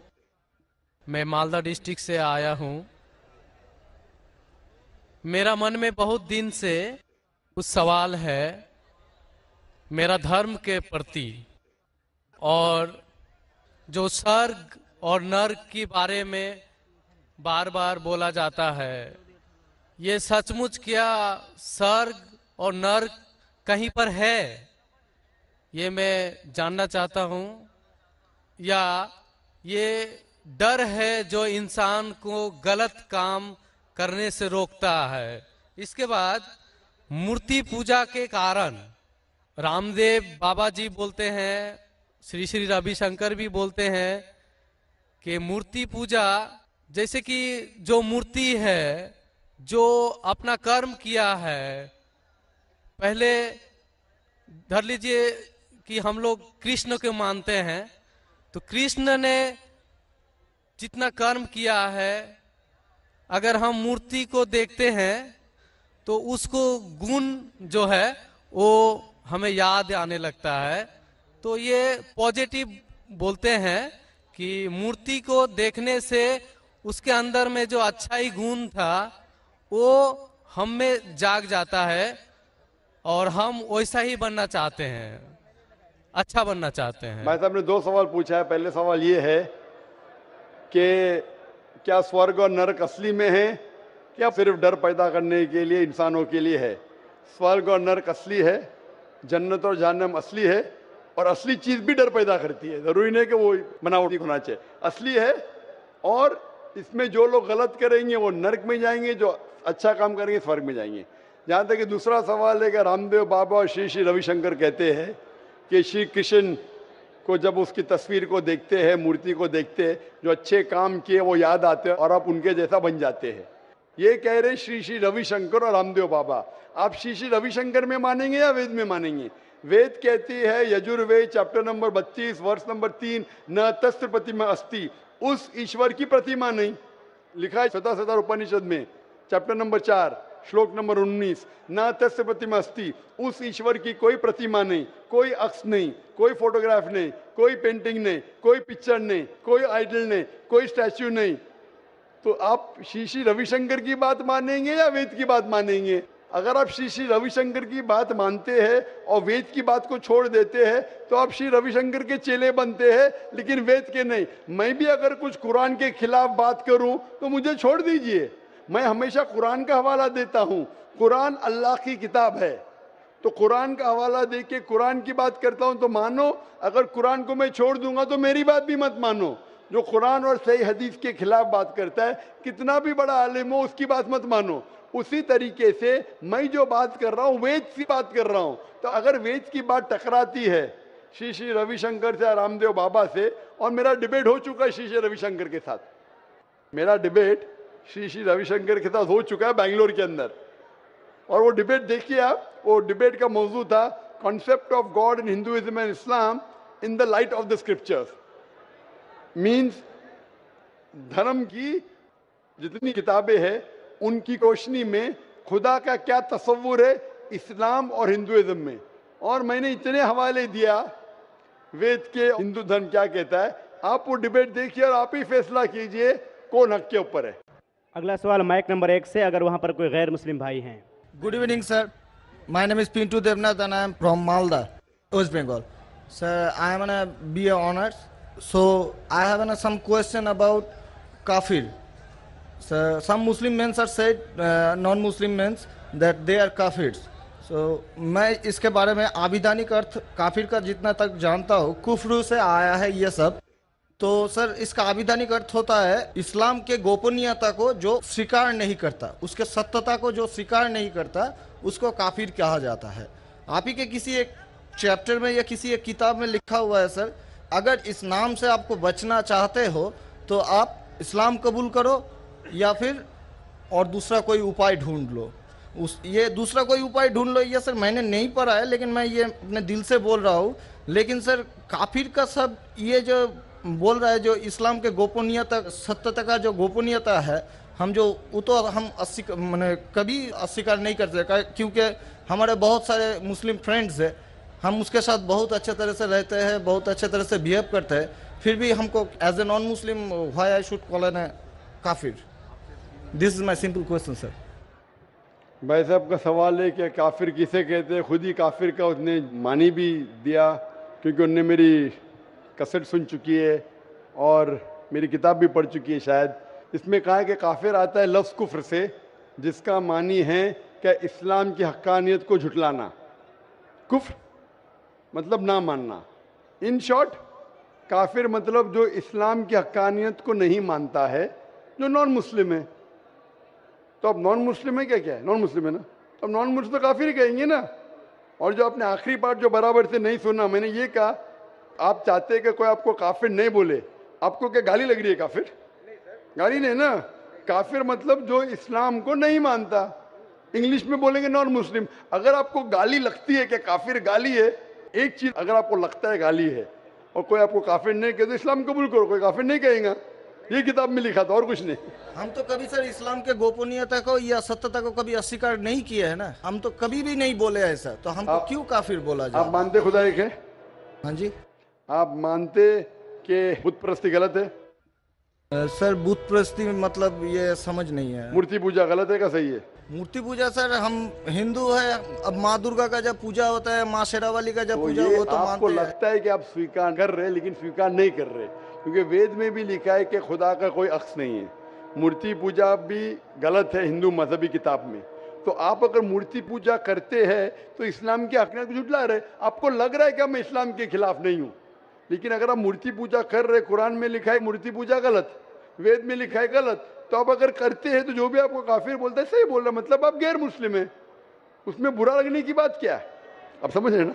नहीं सर आप बोल रहे कि मैं इस्लाम की हक्यानत को नहीं झुटला रहा हूँ। हम झुटला रहे तो है। आपने बोले मूर्ति पूजा कर दे मतलब झुटला दिए। अगर सर मैं इस जगह में कहता हूँ कि मैं मूर्ति पूजा को नहीं मानता तब मैं काफिर नहीं हूँ। हाँ, अगर आप बोलेंगे मैं एक खुदा में मानता हूँ। नहीं सर। मूर्ति पूजा में नहीं मानता हूँ। एकेश्वरवाद में हम भी हम मानते हैं एकेश्वरवाद को लेकिन सर मूर्ति पूजा का जो बात है अब शेरावाली की पूजा हो रही है माता दुर्गा की पूजा हो रही है वो तो सर झुटला नहीं सकते ना। हाँ तो ये ये झुटलाएँगे तो ही आप वेद के करीब जाएँगे। फिर ही आप कुरान के करीब आएँगे। अगर नहीं झुटलाएँगे मतलब आप करीब नहीं है। उसका मतलब अरबी में कहेंगे काफिर इंग्लिश में कहेंगे नॉन मुस्लिम हिंदी में कहेंगे गैर मुस्लिम अरबी हिंदी इंग्लिश। इंग्लिश में नॉन मुस्लिम अच्छा sir one more question for me sir मैं एक नॉन मुस्लिम होकर क्या सर मक्का हज करने जा सकता हूँ? भाई साहब का सवाल है कि वो नॉन मुस्लिम होके मक्का हज करने जा सकते मेरा पहला क्वेश्चन आप क्यों हज करना चाहते जब मानते ही नहीं मूर्ति पूजा गलत। अभी सर मान लिए आपके पास आप जब बोल रहे हैं तो सही होगा मान लिए मान लिया अच्छा तो मैं पहला जवाब देता हूँ फिर आपके पास आता हूँ। आप मान लिए तो अच्छी बात है। क्यों गैर मुसलमानों को मक्का मदीना जाने की इजाज़त नहीं है? क्योंकि हर शहर के कुछ शरात होते। जैसा कल मैंने कहा था हिंदुस्तान में कुछ एरिया है जिसे कहते हैं कैंटोनमेंट एरिया कैंटोनमेंट एरिया मतलब सिर्फ़ मिलिट्री के लोग जा सकते हैं। Civilians not allowed civilian not allowed आप सुन चुकी मेरा जवाब। सिविलियन नॉट अलाउड मैं कहूँगा नहीं मैं हिंदुस्तानी नागरिक हूँ। हिंदुस्तानी नागरिक है है कैंटोनमेंट एरिया में अलाउड नहीं है। वो लोग जो अपनी ज़िंदगी देश को बचाने के लिए लगाए हैं उनको अलाउड है। उसी तरीके से मक्का मदीना हमारा इस्लाम का कैंटोनमेंट एरिया है। वो लोग जो अपनी ज़िंदगी देने को तैयार है, इस्लाम के लिए वो लोग का अलाउड है, बाकी लोग का अलाउड नहीं है। पहला जवाब। दूसरा जवाब। हर मुल्क में जाने के लिए वीज़ा की ज़रूरत है, वीज़ा। वीज़ा। मिसाल सिंगापुर में गया था पहली बार 1986 में। इमिग्रेशन फॉर्म में लिखा था डेथ टू ड्रग ट्रैफिकर अगर ड्रग आपके पास मिला, कत्ल। मैं नहीं बोल सकता अरे डेथ पेनल्टी खराब है। सिंगापुर में आने का है रूल को फॉलो करो वरना सिंगापुर में मत आओ। आप समझे ना? इसी तरीके से हर कंट्री में जाने के शराय है। अमेरिका जाने के लिए सबसे ज़्यादा शराय है। तुम ये करते I you a terrorist sir जहाँ पर आपको भी रोका are you a terrorist question है। किसने हाँ लिखा मैं अभी तक जानता नहीं हूँ। किसने हाँ लिखा अभी तक मैं जानता नहीं हूँ। Do you belong to terrorist organization अभी तक के मैं नहीं जानता हूँ किसने हाँ लिखा। ये क्यों लिखते पता नहीं मुझे। इसी तरीके से मक्का मदीना जाने के लिए एक अहम शर्त है। सबसे अहम शर्त जो ज़रूरी है, वो ये है कि वो शख्स जो मक्का या मदीना जाना चाहता है, वो अपने जबान से कहे, ला इल्लल्लाह मोहम्मद रसूलुल्लाह। ना कोई माबूद है, सिर्फ़ अल्लाह के और मोहम्मद वसल्लम के पैगंबर है। इसमें अगर आपको यकीन है तो आप जा सकते हैं। नहीं सर, इसमें बहुत एकदम यकीन है, क्योंकि हम जब चार साल पहले ट्रेनिंग में थे, तब हमारा एक दोस्त, मैंने दोस्त का हम दादा हुआ करता था बड़े भैया से। उसने हमको सिखाया कभी किसी मस्जिद के सामने से जाओ अगर तुमको कुछ ना आए सिर्फ़ यही बात बोलो ला इल्लल्लाह मोहम्मद रसूलुल्लाह ये माशाल्लाह। बोलने के अलावा यकीन करते हैं कि हाँ जी अब आपको यकीन है कि बुत परस्ती गलत है? आज से तो यकीन हो गया। ठीक है अब आज से यकीन हो गया। कल क्या किया वो माफ़ हो जाता है। आप मुसलमान बन के कल क्या किया माफ़ हो जाता है। तीसरी चीज़ क्या आप मानते हैं मोहम्मद आखिरी पैगंबर है? हाँ जी। तो आप मुस्लिम बनना चाहते हैं अभी? ये तो पिताजी और माताजी के ऊपर डिपेंड करेगा। आप बनना चाहते पिताजी माता जी ने आप बनना चाहते हम अकेले बन के सर वो तो वो भी वो लोग भी तो हमारा हाँ, लाइफ आएँगे। वो आएँगे क्या नहीं अल्लाह ताला उनको पूछेगा। पहले आप कबूल करेंगे फिर उनको लेके आएँगे ना। हम तो तय दिल से आपका बोल रहे हैं कि हम कबूल तो करना मानते चाहते खुदा एक है हाँ, मानते मानते हैं। बुत परस्ती गलत है? गलत है। आप मानते मोहम्मद सल्लल्लाहु पैगंबर है? हाँ। आपको कोई भी ज़बरदस्ती कर ये कहने के लिए? नहीं। कोई दबाव? नहीं। कोई भी आपको रिश्वत दे रहा है? नहीं। आप अपने दिल से करना चाहते हैं? हाँ तय दिल से। उसके बाद जिसको भी आप कहने के आप कह सकते हैं। तो मैं अरबी में कहूँगा दोहराएँगे? वाई नॉट अशदु। अशदु। अल्लाह। अल्लाह। इलाहा। इलाहा। इल्लल्लाह। इल्लल्लाह। व अशदु। व अशदु अन्ना। अन्ना। मोहम्मदन। मोहम्मदन। अब्दुहु। अब्दुहु। व रसूलुहु मैं शहादत मैं शहादत देता हूँ देता हूँ कि कि अल्लाह। अल्लाह। के अलावा अलावा कोई माबूद नहीं। कोई माबूद नहीं। और और मोहम्मद मोहम्मद सल्लल्लाहु सल्लल्लाहु अलैहि अलैहि वसल्लम। वसल्लम। उसके पैगंबर उसके पैगंबर और बंदे हैं। बंदे हैं। माशाल्लाह मुसलमान हो चुके अभी मैं दुआ किया इंशाल्लाह अल्लाह ताला को और हिदायत दे आपको सबसे बेहतरीन ज़िंदगी दे इस दुनिया में और आखिरत में भी। और मेरी आपसे इल्तिजा है कि ये पैगाम आप अपने वालदेन के पास भी लेके जाइए क्योंकि आपका फ़र्ज़ है कि आप उनको हक्कानियत बताएँ। सर और, और इंशाल्लाह आपको अगर जाने का है मक्का अभी आपको पासपोर्ट में चेंज करने पड़ेगा और इंशाल्लाह मक्का आप जा सकते हैं इंशाल्लाह। आपको मुश्किल है तो मुझे कहिए मैं इंशाल्लाह आपको मक्का लेके जाऊँगा इंशाल्लाह। Sir one more question sir please sir sir मैं सर एक मेरा सर लाइफ अचीवमेंट चाहिए सर प्लीज़ सर एक ऑटोग्राफ देंगे आप? इंशाल्लाह। अगर कोई पेपर आपके पास है पहने तो इंशाल्लाह मैं आपको दे देता हूँ इंशाल्लाह।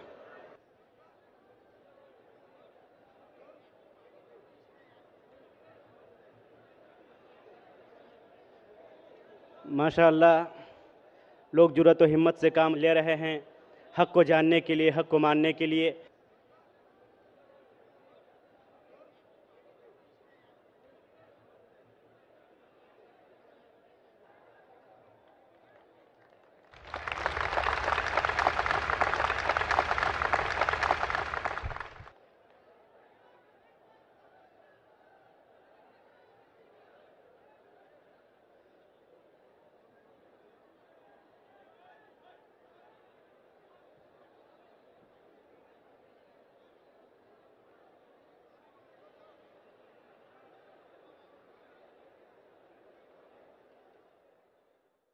अगला सवाल माइक नंबर तीन से, अगर कोई गैर मुस्लिम भाई वहाँ पर मौजूद हैं।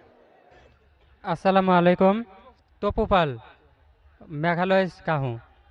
सर, आपको बहुत बहुत शुक्रिया, क्योंकि आपने इस बोरी महफिल में आप हम नॉन मुस्लिम को पहले मौका देते हो। तो मेरा सवाल है, हर मुसलमान के लिए आखिरी रसूल हज़रत मोहम्मद है। तो जिन जाति का आखिरी नबी रसूल कौन है? सवाल अगर मैं सही सुना हूँ कि हर मुसलमान के लिए आखिरी रसूल मोहम्मद सल्लल्लाहु अलैहि वसल्लम में जिन के लिए कौन आखिरी रसूल है? ये आपका सवाल है ना? जिन के लिए यस सर। जिन। भाई साहब आखिरी रसूल मोहम्मद सल्लल्लाहु अलैहि वसल्लम सिर्फ़ मुसलमानों के लिए नहीं सारे इंसानों के लिए। चाहे आप हिंदुस्तान में पैदा हो, पाकिस्तान में, सऊदी अरेबिया यूएसए कनाडा चाहे हिंदू खानदान में पैदा हो, क्रिश्चियन खानदान में पैदा हो, सारे इंसानों के लिए आखिरी पैगंबर मोहम्मद सल्लल्लाहु अलैहि वसल्लम है। कुरान मजीद की आयत है सूरह अंबिया में, सूरह नंबर 21 आयत नंबर 107 में, वमा अरसलना का इल्ला रहमत आलमीन कि हमने तुम्हें भेजा है रहमत बना के सारे आलमीन के लिए, सारे इंसानों के लिए और जिन के लिए भी। मोहम्मद सल्लल्लाहु वसल्लम सिर्फ़ इंसानों के लिए ने जिन के लिए भी आखिरी पैगंबर मोहम्मद सल्लल्लाहु वसल्लम है और आखिरी वही जो नाजिल हुई वो है कुरान शरीफ। इसीलिए कुरान के अंदर एक चैप्टर एक सूरा है जिसका नाम है सूरा जिन। अगला सवाल माइक नंबर एक से वहाँ पर अगर कोई गैर मुस्लिम भाई मौजूद हैं। सर मैं पिंटू देवनाथ आप मेरा नया मुस्लिम नामकरण भी कर दीजिए। भाई साहब ने कहा कि मैं उनके लिए नाम दूँ। मैं जो आपके लिए नाम सोचता हूँ वो बिलाल है। आप अपने आप को बिलाल बुला सकते हैं। बिलाल। अगला सवाल माइक नंबर एक से अगर वहाँ पर कोई गैर मुस्लिम भाई मौजूद हैं माइक नंबर एक से। सबसे पहले तो मैं नाइक साहब को धन्यवाद देता हूँ कि इस खुला अधिवेशन में तमाम लोगों की आप जवाब दे रहे हैं और अधिकतर गैर मुस्लिमों को लोगों को जवाब दे रहे हैं और संतुष्ट कर रहे हैं। मेरा जवाब यह है, मैं त्रिलोकचंद जैन नगर परिषद उपाध्यक्ष किशनगंज। मैं जैन धर्म में, जैन परिवार में जन्म हुआ हूँ और अधिकतर जो घर में जन्म लेते हैं, उसी धर्म का पालन करते हैं। लेकिन मैं इंसानियत धर्म मानता हूँ और तमाम धर्म की किताबों को पढ़ता हूँ और तमाम लिखी हुई अच्छी बातों को मैं ज्ञान करता हूँ। लेकिन एक बात आज जानना चाहता हूँ कि आप यहाँ केवल जैसा मुझे सुनने में और देखने में अभी पड़ रहा है कि आप जो बात कह रहे हैं केवल इस्लाम धर्म की, कि आखिरी बात इस्लाम धर्म की सारी बातों को अब कबूल करवा रहे हैं और इस्लाम धर्म को सर्वोपरि मान रहे हैं। मैं भी मानूँगा, अगर आप मेरी बात को, अभी ईसाई धर्म भी है, बौद्ध धर्म भी है, जैन धर्म भी है और सिख धर्म भी है हिंदू धर्म भी है, और धर्म क्या है? धर्म तो मैं मानता हूँ, पानी का धर्म ठंडा है, सूर्य रोशनी देता है, उसका धर्म है, चाँद रोशनी देता है, वो धर्म है, हवा का बहना, वो धर्म है, ये संप्रदाय है, या क्या है, या किसको मानना चाहिए, या जो लोग जहाँ मान रहे हैं, वो अच्छी बात है, या हम नहीं मान रहे हैं तो उसमें हमारा क्या नुकसान है? इसको जरा तमाम बातों को मेरा स्पष्टीकरण चाहिए। कि किस धर्म को मानने से और किस बात को मानने से मनुष्य का कल्याण हो सकता है? भाई साहब ने बहुत अच्छा सवाल पूछा है और बहुत अहम सवाल पूछा है। वो कहते हैं कि वो इंसानियत धर्म में मानते हैं सारी मज़हब की किताब को पढ़ते हैं लेकिन यहाँ देख रहे हैं कि जाकिर बाकी लोग का हवाला देखे लेकिन इस्लाम कहते हैं कि इस्लाम फाइनल है इस्लाम मेन है। ये आपने जैसा सवाल है। इस्लाम मेन है। भाई साहब ये मैं नहीं कह रहा हूँ ये वेद में लिखा है वेद अगर वेद में लिखा है कि आखिरी अवतार कल के अवतार है अगर लिखा है तो मैं उस चीज़ को निकाल नहीं सकता हूँ ना? नहीं, मैंने तो नहीं लिखा हूँ। उसी तरीके से बाइबल में लिखा है। आपने कहा बाइबल का आपने कहा वेद का। बाइबल में लिखा है, बाइबल पढ़ेंगे Gospel of John chapter number 16 verse number 12 to 14 ईसा सलाम कहते हैं I have many things to say to you but he can not bear them now, for he, when the spirit of truth shall come, he shall guide you unto all truth. He shall not speak of himself, all that he shall speak. ये दे रहे हैं कि एक आखिरी पैगंबर मोहम्मद सल्लल्लाहु अलैहि वसल्लम आने वाले, ये मैंने तो बाइबल नहीं लिखी ना, मैंने तहकीक की। अगर मैं तहकीक कर आप आके बोलो, डॉक्टर जाकिर नाइक आप जो कह रहे बाइबल में बाइबल में नहीं है। लेकिन आपने कभी नहीं सुना? आप अजीब बात सुन रहे तो आपको अजीब लग रहा है। और बहुत लोग को अजीब लग रहा है। कुछ लोग कबूल कर रहे कुछ लोग कबूल करने से डरते फ़र्क ये। है। नहीं नहीं सुनिए बात। तो ये आप बोलना चाहिए जाकिर भाई बाइबल में Gospel of John chapter 12 verse 14 है ही नहीं। अब लेके आओ बाइबल? पढ़ो मेरी बात। ये कल की पुराना है ही क्या नहीं? आपकी किताब में लिखा है तो मैं छुपा तो नहीं सकता हूँ ना। मैं क्या कहता हूँ कि सारी धार्मिक किताब को लो और यकसा है वो फॉलो करो। जो यकसा नहीं, उसको छोड़ दो ना। तो अक्सर जितने अहम मज़हब है, चाहे हिंदू मज़हब है, चाहे बुद्ध मज़हब है, चाहे ईसाइत है, चाहे जुडाइज्म है, चाहे इस्लाम में सारे में यकसा लिखा है। आप अगर पढ़ेंगे हिंदू मज़हब की किताब, वेद पढ़ेंगे, बाइबल पढ़ेंगे, Old Testament, New Testament, Judaism, Christianity, इस्लाम, ये चारों मेन मज़हब को आप लेंगे, सब में लिखा है खुदा एक है। उसका कोई अक्स नहीं है। आखिरी पैगंबर मोहम्मद सल्लल्लाहु अलैहि वसल्लम है। तो मैं थोड़ी छुपा सकता हूँ। मुसलमान भी चौक जाते। इस्लाम और हिंदुइज्म में यकसानियत हो ही नहीं सकती। कितने मुसलमान मेरे खिलाफ है। हिंदुज़म और इस्लाम में यकसानियत हो ही नहीं सकती। लेकिन जब खुदा फरमाते ताला विला कलीमतिन सवा इम बैना बैनकुम आओ, हम उस बात की तरफ़ जो यकसा है मैं भाई साहब, जितनी लंबी तकरीर में दे सकता हूँ हिंदू और इस्लाम मज़हब में यकसानियत उससे लंबी तकरीर दे सकता हूँ डिफरेंसेस के ऊपर। इख्तलाफ पे। लेकिन मेरा काम इख्तलाफ ने मेरा काम यकसानियत का है। क्योंकि मैं तालिब इल्म हूँ। मैं अगर तकरीर करने लगूँ कि हिंदू मज़हब और इस्लाम में डिफरेंस क्या है तो और लंबी तकरीर कर सकता हूँ मैं। लेकिन मेरा काम है लोगों को जोड़ना, लोगों को तोड़ना नहीं। लेकिन जोड़ते वक्त जब मालूम पड़ रहा है सही, अगर बाकी के धार्मिक गुरु अपने लोग से नहीं कह रहे, क्या उनके किताब में लिखा है कि खुदा एक है खुदा के अलावा किसी की और पूजा नहीं करना चाहिए। आखिरी पैगंबर मोहम्मद उनकी गलती है, मेरी गलती क्या है? और मैं तो खुले मंच पे बोल रहा हूँ ना। और मैं कहता हूँ कि आओ, आपके धार्मिक आदमी को लेके आओ, अगर गलती है, बैठ के हम डिस्कशन करेंगे। जिस तरीके से मैंने श्री श्री रविशंकर के साथ किया था। श्री श्री रविशंकर, हिंदुस्तान में हिंदुस्तान में सबसे ज़्यादा माने जाने वाले इन स्क्रिप्चर्स में श्री श्री रविशंकर है। उनके साथ मुनाजरा किया मैंने। ओपन स्टेज के ऊपर, ओपनली। तो इसके अंदर अगर हक बात सामने आ रही है, लोग हक कबूल कर रहे उसमें क्या है? आप मुझे ऐसी कोई चीज़ लेके आओ जो मैं नहीं मानता हूँ, और कुरान और वेद में लिखे मैं फ़ौरन मानूँगा। अब एक चीज़ पेश करो मुझे, एक, जो कुरान और वेद में लिखा है इसमें मैं अमल नहीं करता हूँ, फ़ौरन अमल करूँगा। भाई साहब, समझ रहे क्या बोल रहा हूँ मैं? इसको कहते हैं इंसानियत। खाली मुँह से बोलना इंसानियत क्या है? ये तो पॉलिटिशियन का काम हो गया। मैं सब में मानता हूँ, सब में मानता हूँ। सब में मानता हूँ तो अमल तो करो।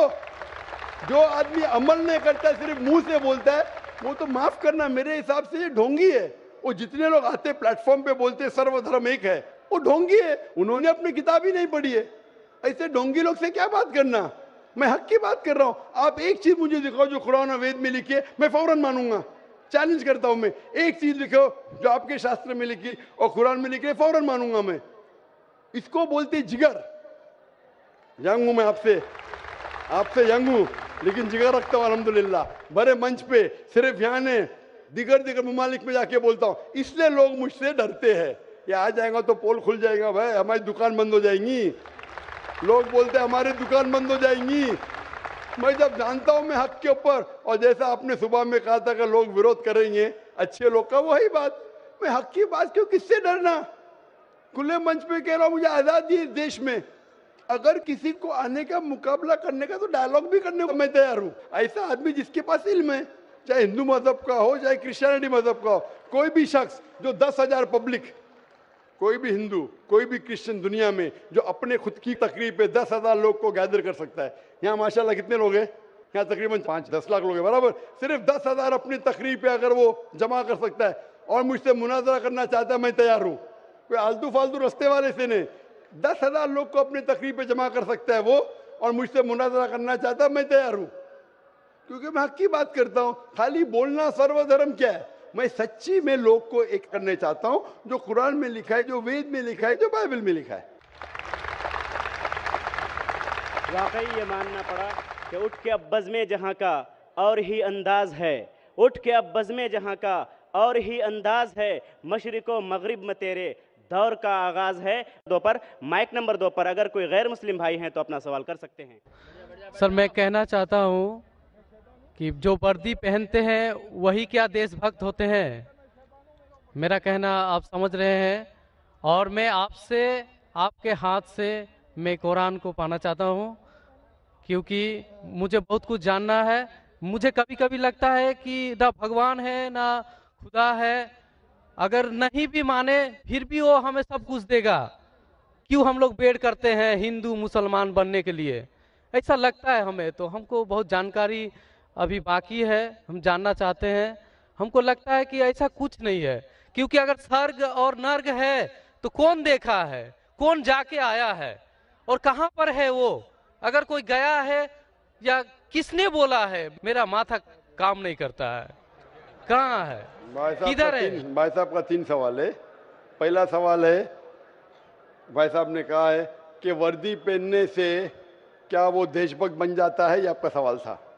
मैं वर्दी पहनने से देशभक्त नहीं बनता है। बहुत से लोग वर्दी पहन के अपने देश से गद्दारी भी करते हैं। तो वर्दी पहनने वाला देशभक्त ज़रूरी नहीं है। जो अपनी देश की रक्षा करता है और देश के लिए काम करता है वो सही इंसान है। वर्दी ज़रूरी नहीं वर्दी है या नहीं है वो कुछ अहम क्राइटेरिया नहीं। दूसरा सवाल आप चाहते कुरान मजीद मुझसे आप आ सकते हैं। तीसरा, कि मैं कभी सोचता हूँ कि खुदा है क्या नहीं है? क्यों लोग आपस में झगड़ते? स्वर्ग है क्या नहीं है? किसने देखा स्वर्ग है क्या नहीं है? तो क्या करना, क्या जानना? भाई साहब भाई साहब, आपने कभी किसी को दस मारने से खुद ही मारते देखा?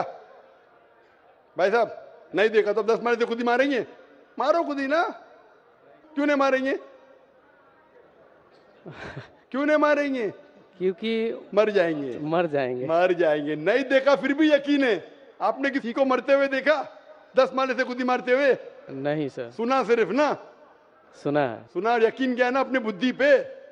तो यही चीज़ सब चीज़ देखना ज़रूरी नहीं। मैं स्वर को देखूँगा तो ही मानूँगा। कि आपको अमेरिका जाना ज़रूरी है मानने के लिए? अमेरिका ही क्या नहीं?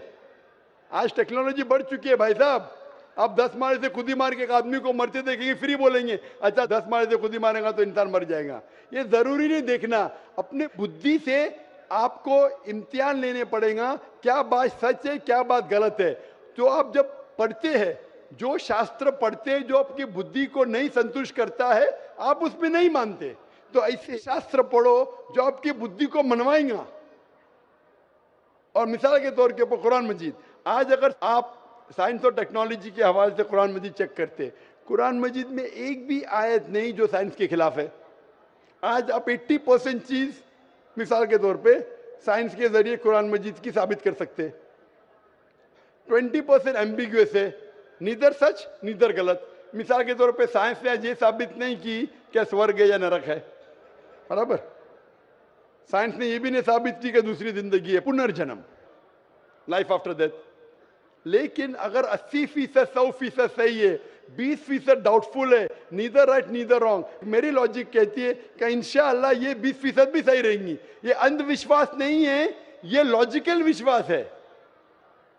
तो कुरान में बाकी साइंटिफिक फैक्ट के अलावा ये भी लिखा है कि स्वर्ग नरक है। तो ऐसी किताब पढ़ो जिससे आपका मन संतुष्ट हो। आप कुरान मजीद पढ़ो इंशाल्लाह आपको यकीन आएगा स्वर्ग और नरक में। आप आके कुरान मजीद ले सकते हो भाई साहब। सर स्वामी विवेकानंद बोलते हैं कि स्वर्ग और नर्क अपना दिल में है। तो ये कैसे बोल दिए ये बहुत बड़ा पंडित है। स्वामी विवेकानंद के खुदा है क्या? आप वेद की बात मानेंगे स्वामी विवेकानंद की बात मानेंगे? सर हम लोग यंग तो बहुत उसको फॉलो करते हैं। हाँ, अगर कोई आदमी ने गलत किया इंसान गलती कर सकता है क्या नहीं?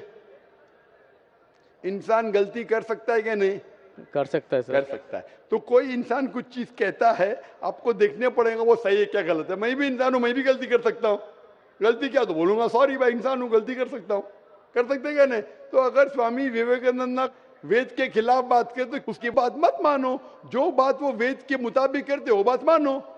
आप समझ रहे? मेरा भी कोई जुमला मिला जो कुरान के खिलाफ है, मेरे जुमले को भी फेंक दो ना। स्वामी विवेकानंद दूर की बात है। मैं अगर कुछ कुरान और सही हदीस के खिलाफ बोल रहा हूँ तो मेरी बात भी मत मानो। मेरा दो स्टैंडर्ड ने, मेरा डबल स्टैंडर्ड है वन स्टैंडर्ड है। जो खुदा ने बोला, खुदा की किताब को मानो, उसके ऊपर अमल करो। लोग अक्सर आपको खुदा की किताब से दूर लेके जाते। मैं यहाँ आया हूँ लोग को खुदा की किताब के नज़दीक लेके आने के लिए। अगला सवाल माइक नंबर तीन से अगर वहाँ पर कोई गैर मुस्लिम भाई मौजूद हैं। माइक नंबर तीन से। मेरा नाम राहुल गुप्ता है। मेरा सवाल कुरान के दूसरे नंबर सुरा सुरा बकरा में कहा गया है। ये वही किताब है जिसमें को, कोई गलत नहीं है। मेरा प्रश्न है यही किताब जो कौन कौन गलत नहीं है? भाई साहब ने कहा कि कुरान मजिद में सूरा बकरा, सूरा दो में लिखा है। वो क्या कहना चाहते मैं दोहराता हूँ। वो सूर्य बकरा, सूरा नंबर दो, आयत नंबर एक दो का हवाला दे रहे हलिफ्लाम मीम, जालिकल किताब ला रही बफी हुदल मुतकीन मतलब ये किताब वो है जो हिदायत बिना डाउट, बिना शक है, वो लोगों के लिए जो तकवे वाले हैं। कुरान मजिद में लिखा है कि ये किताब वही किताब है जिसके अंदर बिना शक हिदायत है तकवे वाले लोगों के लिए। मीन जो अल्लाह से डरते हैं जो तकवा रखते हैं ये किताब बेशक उनके लिए हिदायत की किताब है। ये मानिए सूर्य बकरा सूरा नंबर दो आयत नंबर एक कर दो। अब हम चलते हैं माइक नंबर एक पर। वहाँ पर अगर कोई गैर मुस्लिम भाई मौजूद हैं तो अपना सवाल कर सकते हैं। हेलो सर मेरा नाम विवेकानंद दास है। मैं बी का एक स्टूडेंट हूँ। मेरा क्वेश्चन है सर कि मैं एक हिंदू का लड़का हूँ। अगर मैं मुसलमान की लड़की से शादी करूँ तो क्या वो स्वर्ग की हकदार हो सकती या मैं जन्नत का हकदार हो सकता हूँ?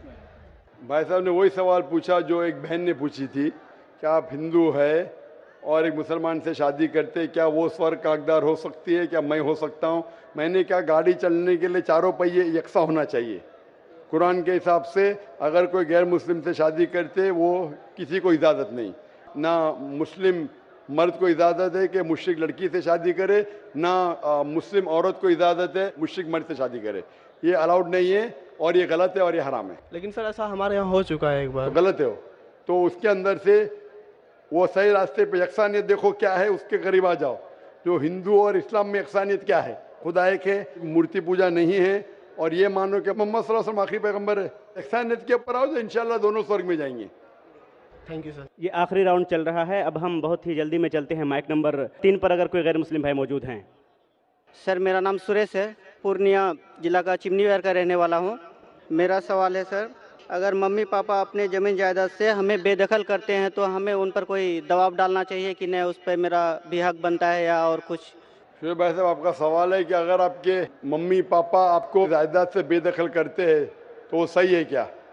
सही है और उस पर हम मेरा हम उनके ऊपर अब कोई दबाव डाल सकते हैं कि नहीं? क्यों करे कुछ आपने गलती की? नहीं मत, गलती नहीं सर ऐसा भी होता है गलती भी होते हैं और भी और नहीं भी होते हैं मैं पूछना चाहता हूँ क्यों?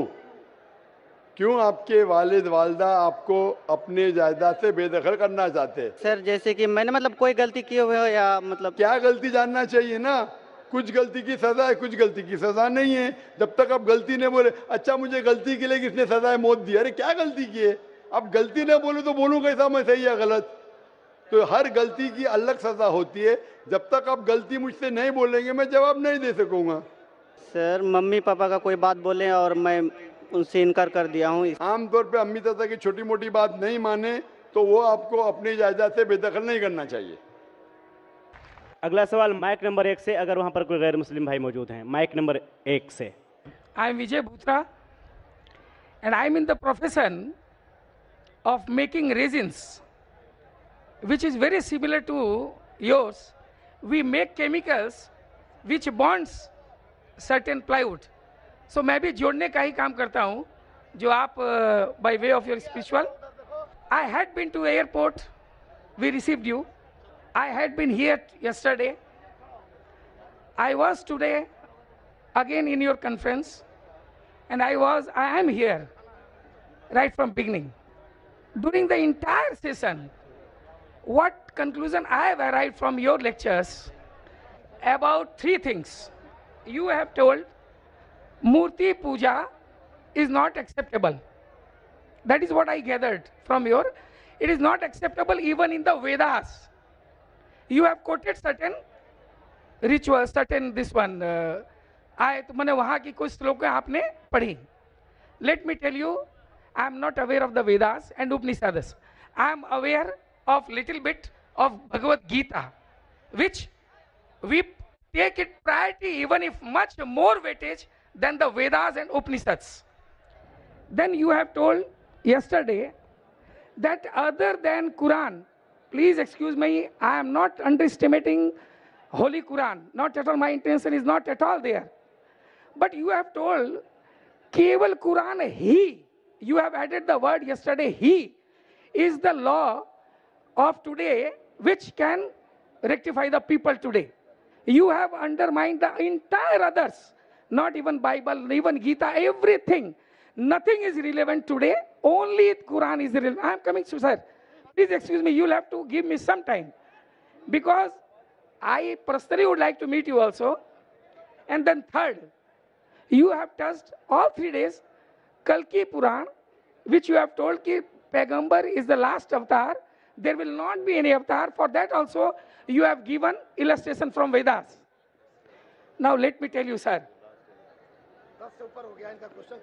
एक ही सवाल नहीं ऐसा है सर मैं स... अब मैं मैं कर देता हूँ सर दस बज चुके हैं फिर भी मैंने मौका दिया अगर आप ज़्यादा ज़्यादा ज़्यादा करेंगे हमको यहाँ लॉ का इख्तियार रखना चाहिए नहीं टाइम खत्म इतना लंबा वक्त आपको माइक्रोफोन आने के लिए आप नहीं आया दस बजने के बाद आप खड़े होते और इतना लंबा सवाल पूछते मैं जवाब देने को तैयार हूँ अगर पुलिस इजाज़त देती मैं देता हूँ कोई बात नहीं my let my question be incomplete and let the answer be not are you coming so late? I am sorry for इसी my complete, did come your, complete your question. Complete your third question. No, no, if you permit, if you the, the everything but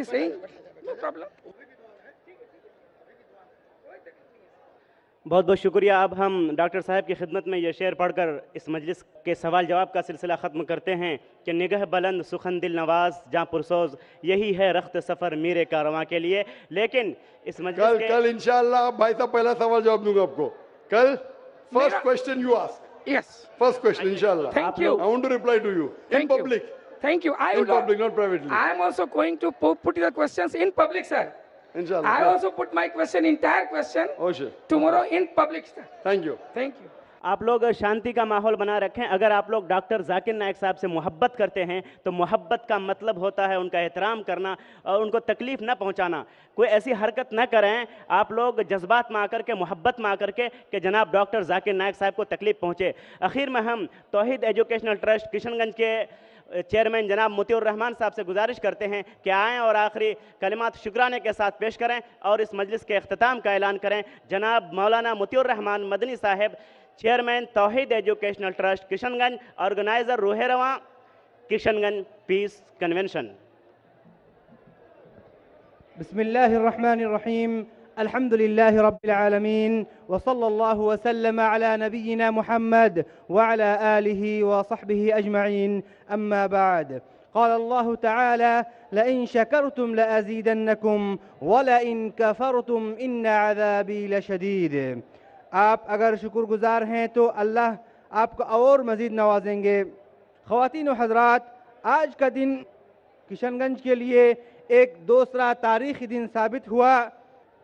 Kishanganj peace convention का दूसरा ये दिन था। बहुत पुर अमन और शांति के साथ हमारा ये आज का प्रोग्राम अख्ताम पजीर हो रहा है। मैं अल्लाह रब्बुल आलमीन के शुक्रगुजार हूँ। फिर हमारे मुहतरम डॉक्टर जाकिर नायक हफिज़ल्लाह का और उसके साथ साथ हमारे ज़िला के प्रशासन का बहुत ममनून मशहूर हूँ कि वह हमारे साथ हर मोड़ पर हर तरह की ताउन फरमाएँ। और मैं आप सामीन का भी बहुत बहुत शुक्रगुजार हूँ कि आप शांति और पीस के साथ आज का ये प्रोग्राम सुने। मैं कल इन आप लोगों का इंतज़ार करूँगा, लेकिन गुजारिश होगी आप लोगों से कि पुरअमन और शांति के साथ आप आएँ इस प्रोग्राम में। इन्हीं चंद कलिमात के साथ मैं अपनी बात को ख़त्म करता हूँ। इस दुआ के साथ सुबहानक अल्लाहुम्मा व बिहम्दिक अशहदु अल्ला इलाहा इल्ला अंत अस्तगफिरुक व